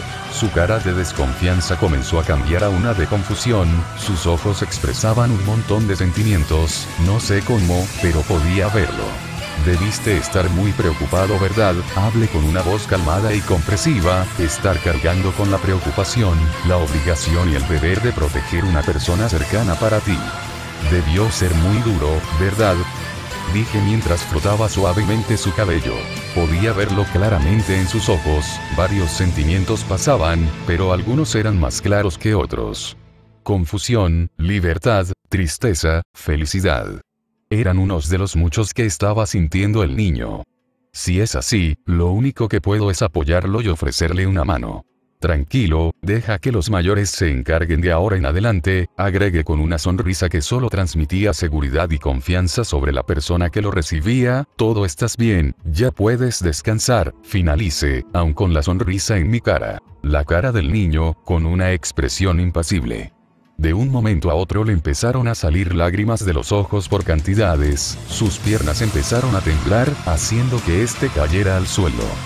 Su respiración era muy agitada, su llanto era casi desgarrador, pero dentro de ese llanto, alcancé a escuchar unas palabras juro, comenzó a decir el niño, con su cara llena de lágrimas mirando fijamente el suelo, junto con una voz que pareciera que se fuera a partir en cualquier momento, que la próxima vez pensaré mejor, continuó a la vez que más lágrimas se empezaban a filtrar de sus ojos, haré que la próxima vez sea perfecto, calcularé y mediré cada paso. No haré nada innecesario, continuó apretándose más fuerte el pecho, lo juro gritó, para que inmediatamente levantara su vista a donde estaba yo. Su mirada llena de lágrimas, las cuales representan alivio y arrepentimiento. Junto con los ojos llenos de determinación, me hicieron sonreír. Confío plenamente en que lo lograrás, le respondí, con toda la confianza y seguridad que pude reunir, solo tienes que esforzarte y dedicarte lo más que puedas, y verás que tarde o temprano lo lograrás, complemente con una sonrisa relajada. Pude ver cómo sus ojos llorosos me siguieran viendo, solo para que después sus labios se curvaran hacia abajo y me gritara. Tonta. Fue lo único que pudo formular, mientras más lágrimas salían de sus ojos. Eso realmente me preocupó, sentí que lo había arruinado por algo, buscaba desesperadamente algo para disculparme en mi cabeza. Mientras yo estaba en esa situación, mi amigo se estaba riendo. Aparte la niña atrás del niño se estaba riendo con suaves carcajadas. Realmente lo único que puedo decir de esto, es que hoy fue un día bastante único. No, fue realmente una nueva experiencia para mí. ¿Qué les pareció el capítulo? Para mí fue divertido presentar a dos personajes de esta forma. Utilice la falta de contexto de las acciones de los personajes nuevos al inicio del capítulo, utilizándolo para dar paso atrás y presentar debidamente a los nuevos personajes de la historia. 1, 1, hiciste lo correcto bro. Pero dejando eso de lado, espero que hayan disfrutado del capítulo del día de hoy, tanto como yo disfruté escribiéndolo. Nos vemos en dos o tres días. Por cierto, para los que se dieron cuenta, si ya organicé bien los capítulos de la historia ya que literalmente el capítulo 1 no existía. Pero cuando los estaba corrigiendo accidentalmente subí el borrador de la hora capítulo 8. B. Para tener una conversación más fluida conmigo, o si tienes una pregunta sobre la historia, sígueme en mi cuenta de Wattpad, no spoiler. Y sin más que decir me despido. Bye. 4443 palabras. Deja tu voto y comentario. 3. Capítulo 10. Grover Underwood. Bueno, mi situación actual es menos que normal. Cuando me veo en un declive emocional, el cual ni siquiera sabía que tenía en primer lugar. Llega una chica de más o menos de 14 años de edad, justo cuando mate a un minotauro de más del doble de mi tamaño, y me dice como si nada déjalos en manos de los mayores. Lo dijo como si no era nada, claro, y como no estaba muy bien emocionalmente, me rompí. Lloré al frente de unas personas que no conocía. Claro, mi orgullo y dignidad se vieron afectados por esa acción que hice frente a desconocidos. No me podía permitir que se vieran afectados de esa manera, por lo tanto los invité a comer, justo después de haber recobrado mi poca postura en el asunto. Pero, ahora que los veo comer de esa manera, me arrepiento haberles dicho pidan lo que quieran, yo invito, la verdad, nunca había conocido a dos personas que podrían comer tanto. La mesa en la que estábamos ubicados dentro del establecimiento, estaba repleta de envoltorios de hamburguesas. Cajas de cartón en donde se guardaban y estaban almacenadas, las papas fritas y los juguetes que se pidieron hace menos de 15 minutos. Fue un espectáculo digno de ver, pero a la vez fue el más perturbador que pude haber visto en mi corta vida. Aunque creo que se les puede justificar la verdad, se les nota que no han comido como se debe por semanas. Esto se le puede llamar una forma de autocomplacerme, por así decirlo, y que fueron las personas que me ayudaron a salir de ese callejón. Puedo decir con toda confianza, de que Annabeth no tiene ningún problema con estos dos. Si no fuera así, ¿por qué estaría hablando con tanta confianza con esos dos? Yo por mi parte estoy investigando el caso de la desaparición de Annabeth, o por lo menos es lo que debería decir en el periódico. No se ha reportado ningún niño desaparecido en los últimos seis meses, la verdad dudo que sus padres hagan el intento de buscarla. Ya que, si no lo han hecho en el plazo de estas semanas, no lo van a hacer ahora, y mucho menos en un futuro cercano. Después de todo lo único que he estado haciendo en estos últimos minutos es perder mi tiempo. Y como dice mi maestra el tiempo es la mejor herramienta que un ser humano puede poseer, pero como la tenemos a nuestra disposición en todo momento, no la apreciamos. Pero cuando llega el momento de darnos cuenta de lo valiosa que es, ya es demasiado tarde. La verdad son las mejores palabras que me he guardado en mi cabeza por ahora, ya que algunas esas me han ayudado bastante. Pasaron los minutos en el Donald's, comíamos, charlábamos. Así hasta que los dos barriles sin fondo se cansaron de comer hamburguesas. Ya veo la cuenta bancaria de mi familia siendo utilizada para estas multas, en realidad espero que mi padre me pueda perdonar por lo que estoy gastando el dinero. Se estarán preguntando, ¿cómo es que no los ha atacado un monstruo en ese lapso de tiempo? Sencillo mi pequeño amigo, aunque creo que no soy el mejor ejemplo, puse un campo acotado alrededor de la mesa en la que estamos sentados. Su función es no permitir los olores que emanan los objetos y seres vivos que eran dentro de esta. Es una obra personal, inútil en muchos casos, pero practico en estos. ¿Qué estaban haciendo un par de niños en una herrería abandonada? Preguntó Talía con curiosidad en su voz, me da curiosidad, finalizó a la vez que sorbía con un pitillo lo último que le quedaba de su refresco. La misma pregunta va para ti, le respondí, a la vez que veía como su cuerpo se tensaba significativamente, mientras me acomodaba en la silla, después de todo, una chica de tu edad no debería estar en un callejón, finalice, devolviéndole su pregunta misma pregunta pero desde otro ángulo. Para ser un niño que estaba llorando hace unas horas, tienes una lengua bastante afilada, me dijo, tratando de evadir mi pregunta al tratar de afectar mi orgullo. No evadas la pregunta, le hablé mientras movía algunas envolturas encima de la mesa, a la vez que cogía una papila frita que sobró. Estábamos en la casa de un familiar mío, pero me dejaron invitar a una amiga. Por lo que invite a Talia, dijo mientras terminaba sus últimas papas, que le quedaban en el envase de cartón, al salir del lugar, me ofrecía llevar Talia a su casa, continuó mientras le daba una mirada disimulada a su amiga, ella aceptó, por lo que empezamos a caminar hacia la casa, y el callejón era un atajo para llegar a su casa más rápido, pero al pasar al lado de la ferretería abandonada escúchanos que algo se rompía, y así es como resultado, finalizó mientras se limpiaba la boca con una servilleta tengo que admitirlo, fue una buena mentira. Tiene fundamentos y una historia sólida, no vaciló ni paró en el momento de mentir.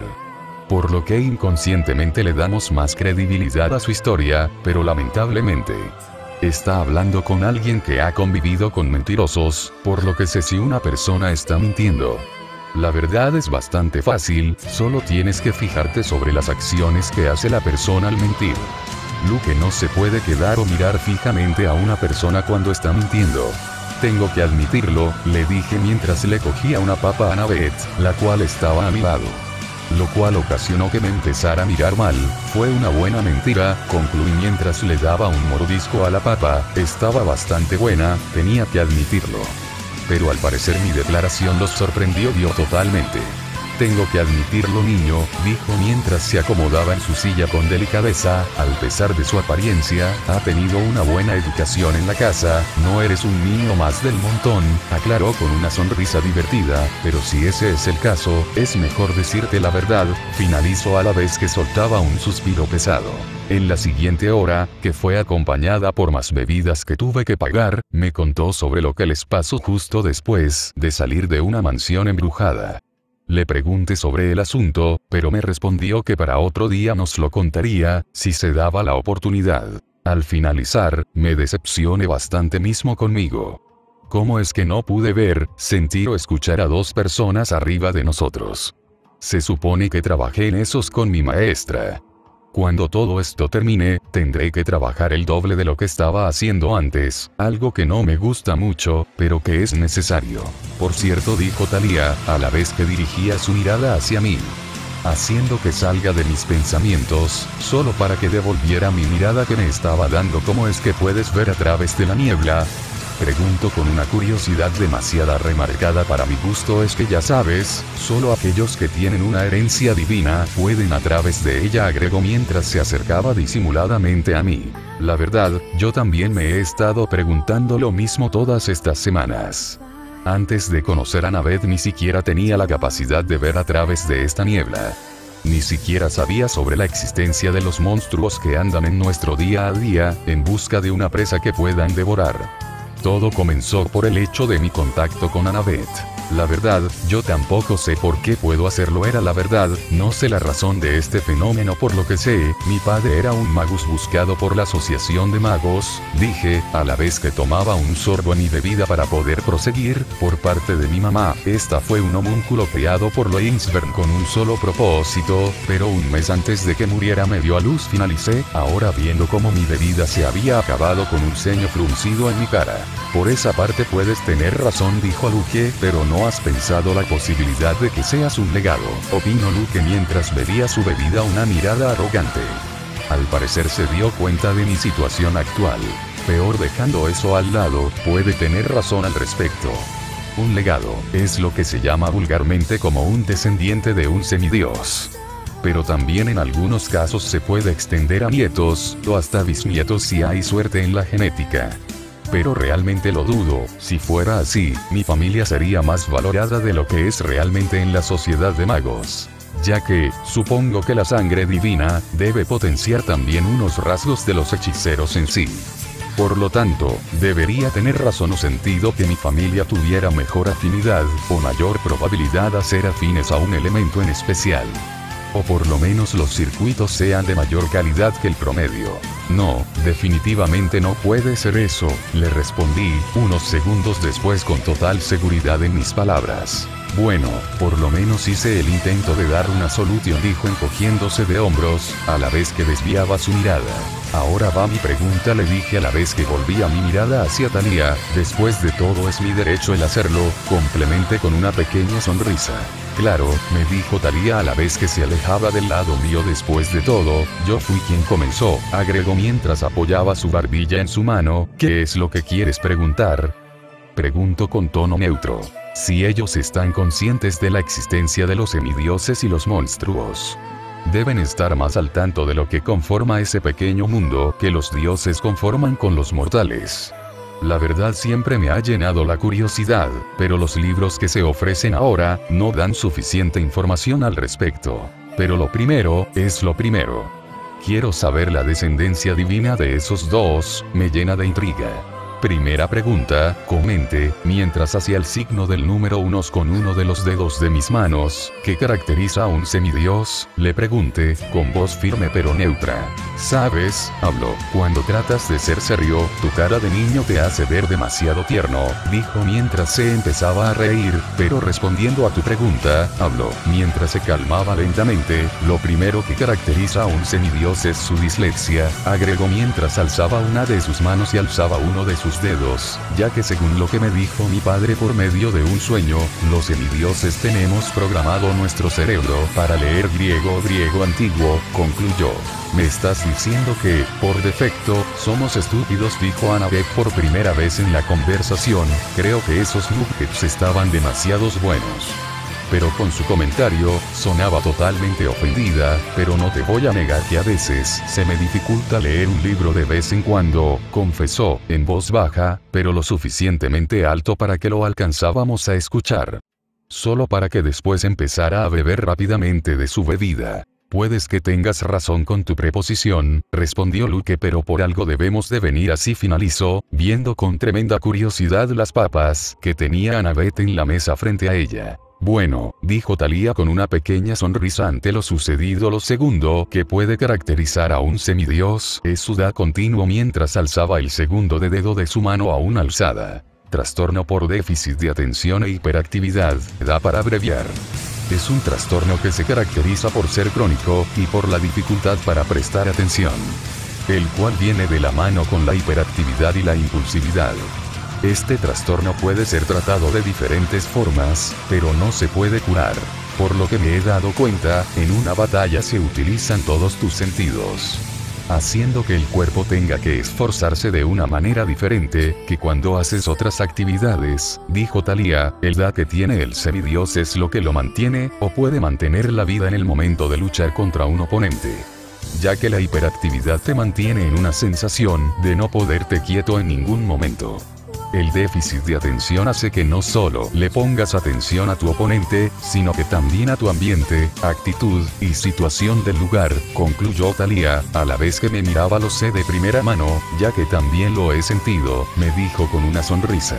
Tengo que admitirlo, hablo Luque, esa fue la primera vez en mi vida que no me sentí inútil al hacer algo, reveló, a la vez que se robaba una papa de Annabeth sin que ésta se diera cuenta. Tengo una pregunta más, le dije mientras le robaba la papa a Annabeth, el problema es que esta vez sí se dio de cuenta. Pero antes de que pudiera reclamarme la comí, haciendo que me diera una mirada que daba miedo me lo pagaras.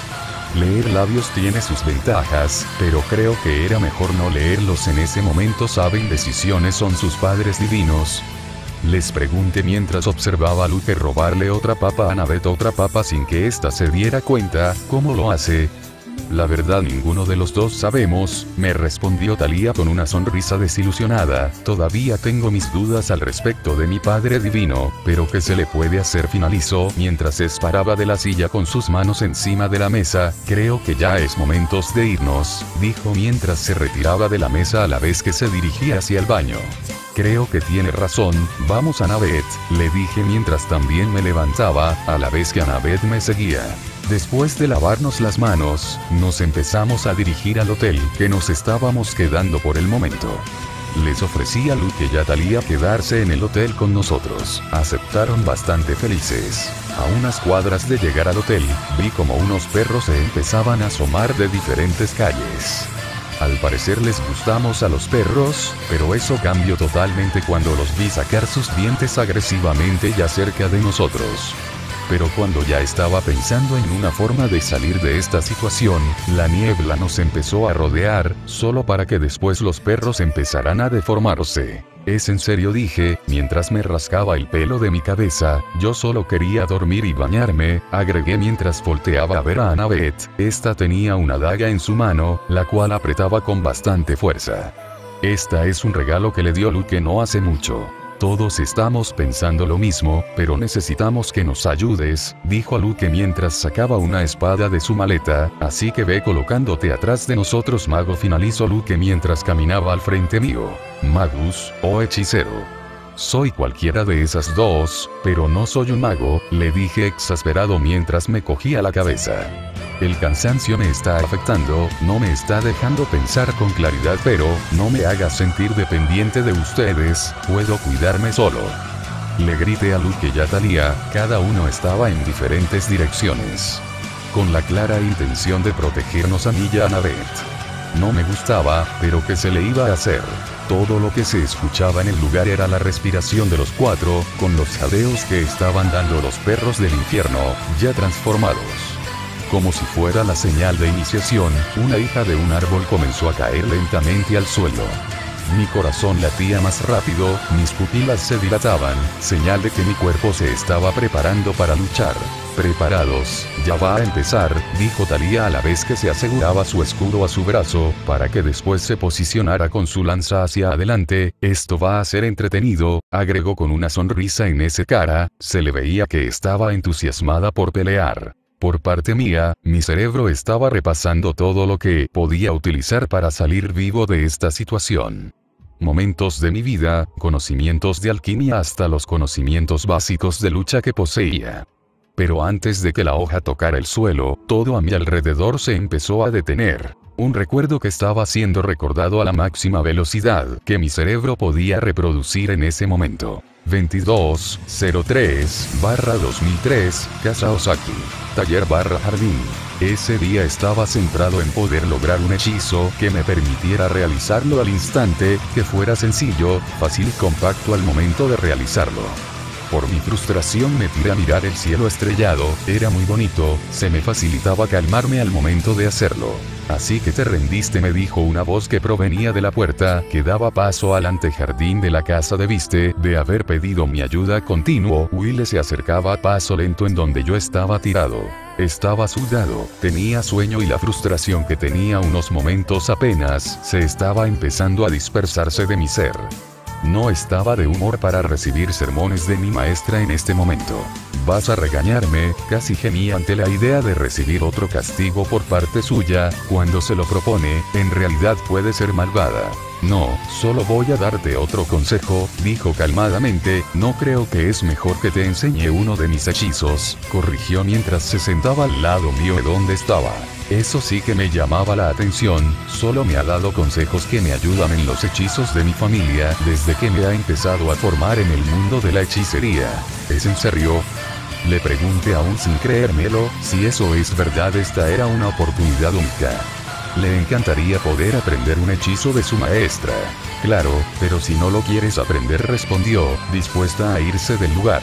No, claro que no dijo rápidamente el niño mientras movía sus manos de un lado a otro claro que me encantaría poder aprender algo de ti rápidamente, dándose cuenta de lo que había dicho, su cara empezó a tomar un color rojo. Sí, es así. No le veo el problema en enseñarte lo dijo mientras sonreía disimuladamente haciendo que la vergüenza del niño desaparezca rápidamente, para que ésta sea suplantada por la curiosidad. Justo después de decir eso, me señaló al otro lado del jardín. Ahí se encuentran una diana que usaba para mi práctica con tiro con arco, en lo cual se me daba bastante bien, por cierto. Shiro habló, haciendo que la mirara a ella. ¿Sabes qué es lo que compone a un circuito mágico? Me preguntó mientras se levantaba del prado en donde estaba. Sí le respondí mientras veía cómo se posicionaba al frente de la diana, pero a una distancia exagerada. Pero a unos pasos atrás en donde yo estaba un circuito se compone por su calidad y cantidad que un mago tiene en su cuerpo, agregué curiosos ante tal pregunta. Eso es lo que dice un hechicero promedio, ya que es lo primero que se les enseña dijo con un suspiro, como si estaba decepcionada de algo, solo para que después colocara su mirada sobre mi Shirou, ¿sabes por qué me llaman misil humano? ¿O artillero mágico? Agregó mientras me miraba. No, no lo sé, respondí con toda honestidad, pero por otra parte estaba totalmente entusiasmado por el hecho de esos apodos. No solo porque son geniales, sino porque debe haber una razón para que la llamaran así. Todavía tienes mucho por aprender Shirou no sé por qué, pero me sentí levemente ofendido con eso pero bueno, ¿qué se le va a hacer? dijo encogiéndose de hombros. Después de eso, rápidamente se arremangó el buzo en sus dos brazos, que estaba llevando en ese momento solo para que después soltara un suspiro y rápidamente levantara su brazo derecho hacia frente con sus cuatro dedos principales, y el pulgar doblado hacia adentro, apuntando a la diana. En ese momento pude oír y ver cómo los circuitos de mi maestra se activaban. El sonido era similar al de un motor en un carro cuando le das gas, pero a una velocidad mucho mayor. Por otro lado, lo que vi fue como la energía de los circuitos se acumulaba por dentro y fuera de los circuitos mágicos, para que después saliera disparada una bola de energía y chocara contra todo el centro de la diana. Los circuitos no solo se clasifican por la calidad y el número de estos en el alma del mago dijo mi maestra justo después de disparar sino que también se clasifica por uno. La velocidad de salida del circuito. 2. La velocidad de rotación del man en el circuito. 3. Durabilidad estructural del circuito. 4. La calidad de la salida del circuito, y 5. La eficiencia del combustible del circuito, finalizó dejando caer su mano de vuelta al lado de su cuerpo. Yo la verdad, estaba demasiado emocionado con la idea de prender semejante hechizo. Pero claro, también le estaba colocando atención a mi maestra, por lo tanto, me sorprendí por los otros cinco conceptos de los circuitos. Si logras desarrollar todas estas capacidades en tus circuitos, ten por seguro que podrás aprender todos los hechizos que tengo en mi repertorio, dijo mientras se dirigía otra vez a donde estaba yo sentado ya que después de todo, no eres un alumno mío porque se agregó mientras me sonreía. A Oko le dije a la vez que volteaba su cabeza hacia mí. A veces, de vez en cuando la llamo por su nombre, se me hace más cómodo la verdad, nunca me has dicho la calidad de mis circuitos ni cuántos tengo, porque... Le pregunté con suma curiosidad. Tu tío me ha pedido que no te lo dijera, hasta que tu acondicionamiento estaba completo me responde que es con lo que te sientes más cómodo al lanzar un hechizo, Shirou, me pregunto a la vez que dirigía su look hacia el cielo estrellado de esa noche. Pensándolo bien, al lanzar un hechizo siempre se me ha venido una imagen a la cabeza. A veces son fuegos artificiales, otras veces explosiones, mientras que en unas pocas una fogata. Siempre se me ha hecho curioso este hecho, creo que nunca le podré encontrar a una respuesta. Puede sonar un poco infantil dije, mientras desviaba un poco mi mirada de la suya pero me imagino fuegos artificiales, o explosiones le respondí un poco apenado por mi respuesta. Al parecer tenía razón ya que se empezó a reír. ¿Sabes? Dijo mientras paraba de reír progresivamente nos parecemos más de lo que crees, Shirou me dijo con una sonrisa a la vez que me miraba con una mirada llena de diversión. No te entiendo le respondí con toda la sinceridad que pude reunir, realmente no pude entender a qué vino esa conclusión. Al parecer mi declaración la hizo volver a reír, el resto de la noche nos la pasamos hablando sobre lo que pensábamos hacer años posteriores. Realmente tengo una muy buena maestra. 27 de mayo de 2003. A unas cuadras del hotel. Cuando terminé de recordar, el tiempo a mi alrededor volvía a su curso natural de tiempo. Pero justo cuando la hoja iba a tocar el suelo, se me ocurrió algo, no es totalmente de fiar, pero es mejor que morir despedazado por perros que toman esteroides con rabia. Agáchense. Grité con fuerza, todos me voltearon a ver raro ahora. Les volví a gritar, al parecer entendieron esta vez ya que rápidamente se agacharon sin preguntar. Justo después de eso la hoja tocó el piso, dando inicio al ataque de perros que consumen cocodrile contra nosotros. Recordando lo que me dijo mi maestra, empecé el proceso de activar mis circuitos mágicos. Haciendo que todo a mi alrededor, en mi perspectiva, se empezara a ver más lento. Durabilidad estructural, es lo que garantiza el paso de mana con total seguridad, permitiendo que el hechizo a realizar tome el mana necesario. Hecho. El sonido de un motor siendo prendido estaba empezando a ser audible en ese momento, ya con el primer paso asegurado, proseguiré con el segundo. Cada vez veía a los perros más cerca. Velocidad de rotación, es lo que permite el tránsito de entrada y conducción de mana por los circuitos mágicos. Hecho. El sonido se está volviendo más repetitivo y rápido, los perros cada vez están más cerca. Prosigo con el tercer requisito. Eficiencia del combustible, es lo que le da potencia, vida y origen al hechizo que es realizado por el Magus, el cual poseo de sobra. Hecho. El sonido del motor ahora es más fuerte, haciendo que el emana que me rodea empiece a entrar y salir de mi cuerpo por medio de mis circuitos. Los perros están empezando a hacer el proceso de altar sobre nosotros. El sudor empieza a cubrir mi rostro. Prosigo con el cuarto requisito. Velocidad de salida, es la capacidad de dejar salir el mana de los circuitos mágicos lo más rápido posible. Hecho. El sonido del motor es el triple de rápido, produciendo que la salida y entrada de mana de mis circuitos aumente, en este momento estoy moviendo mis brazos a mis lados. Los perros ya están saltando sobre nosotros, mis manos están sudando frío. Prosigo con el quinto y último requisito. Calidad de salida, es la capacidad que el circuito posee para poder dejar la cantidad mágica necesaria para hacer un hechizo. Esto se puede ver limitado por el circuito, el cual no es mi caso. Hecho. El sonido del motor se duplica de velocidad, la salida y entrada de mana sobre mi cuerpo hace lo mismo. Los perros ya están sobre nosotros. Mi cuerpo se tensa listo para decir el hechizo que mi cuerpo está capacitado para hacer. El hechizo que voy a realizar, es uno de los mejores que dispone mi maestra ahora mismo en su arsenal. Por lo que consumirá gran parte de mi od, lo más probable es que tenga que ir a un baño para vomitar después de hacerlo. Pero ¿qué se le va a hacer? Con mi cara sudada, mi cuerpo temblando, mis amigos en peligro, con mi vida en peligro. Me dispuse a decir el hechizo. Liberación en onda. Finalmente grité, a la vez que todo mi mana salía disparado en todas las direcciones a una velocidad tres veces mayor a una bala, ocasionando que ésta se vea en forma de una onda, siendo el origen yo. Al chocar contra los perros, estos fueron a la mitad, solo para que después fueron partidos a la mitad, dejando solo un colmillo, prueba de que he estado partidos. Dejando como resultado, fuera de peligro. ¿Qué mierda fue eso? Gritó Luke repentinamente a la vez que se paraba de un salto y miraba hacia todas las direcciones, como si fuera una lechuza observando su territorio perturbado, ese niño hizo esto. Preguntó exaltado mientras me señalaba a mí, el cual estaba tratando de no desmayarse dormir en ese lugar, realmente quería. Ahora creo que te respeto más, dijo Talia con clara admiración a la vez que observaba los resultados del ataque.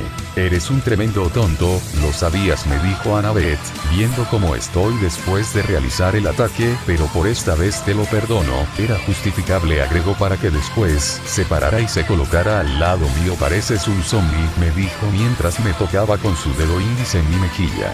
Lo único que podía hacer en ese momento, sin sentir que me iba a morir, era reírme, Realmente creo que parecí un idiota en ese momento. Encontré algo. Gritó Talía mientras sacaba algo de un callejón pequeño que había por la zona espeludo y huele mal dijo mientras se tapaba la nariz es un ser vivo. Grito, como si fuera el mayor descubrimiento hecho en años. Huele a cabra fue lo único que dije claramente disgustado, antes de recostarme en una pared, me sentí como si el mundo fuera en contra mío. Realmente eres un tonto me dijo Annabeth mientras se recostaba en el mismo muro que yo. Sabes, si sigues repitiendo la misma palabra, pareciera que tuvieras un lenguaje muy limitado, le dije con una sonrisa en mi cara.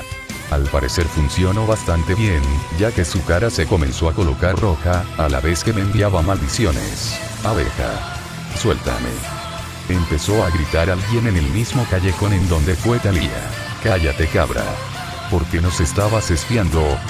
Preguntó enfadada Talía a la vez que tiraba lo que parecía un humano con patas de cabra afuera del callejón. Puedo explicarlo. Exclamó mientras colocaba una mano al frente suyo en forma de protección. Habla rápido dijo Talía mientras lo apuntaba con su lanza o si no te arrepentirás finalizó con una cara que daba bastante miedo en opinión mía. Abeja. Valo mientras su cuerpo empezaba a temblar en señal de miedo soy Grover Underwood, un sátiro. Se me ordenó buscar a la mestiza Talía Grace para llevarla al campamento mestizo, tengo 24 años dijo rápidamente, a la vez que se paraba dejando ver su apariencia, aunque parecía ser Angie de 12 años por la parte de arriba. Pero por debajo en realidad era de cabra. Párate le dijo mientras todavía lo señalaba con la lanza, este rápidamente acató la orden. Al parecer su respuesta alcanzó a convencer de cierta forma a Talía cuéntanos más dijo a la vez, que su mirada empezaba a afilarse. Espero que les haya gustado el episodio, tanto como a mí me gustó escribirlo.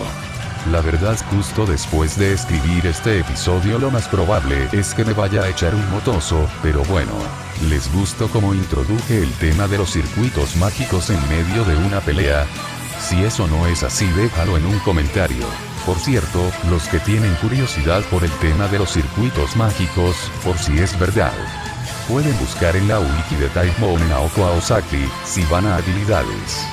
Ahí les va a aparecer todo lo relacionado con esto. Bueno, nos vemos en otros dos o tres días. Creo que este es el capítulo más largo que he hecho hasta la fecha. Sin más que decir. Adiós. 4988 palabras. Pregunta capciosa, son las 10:32 pm cuando estoy subiendo esto, ¿a qué horas lo estás viendo? Deja tu voto y comentario. 3.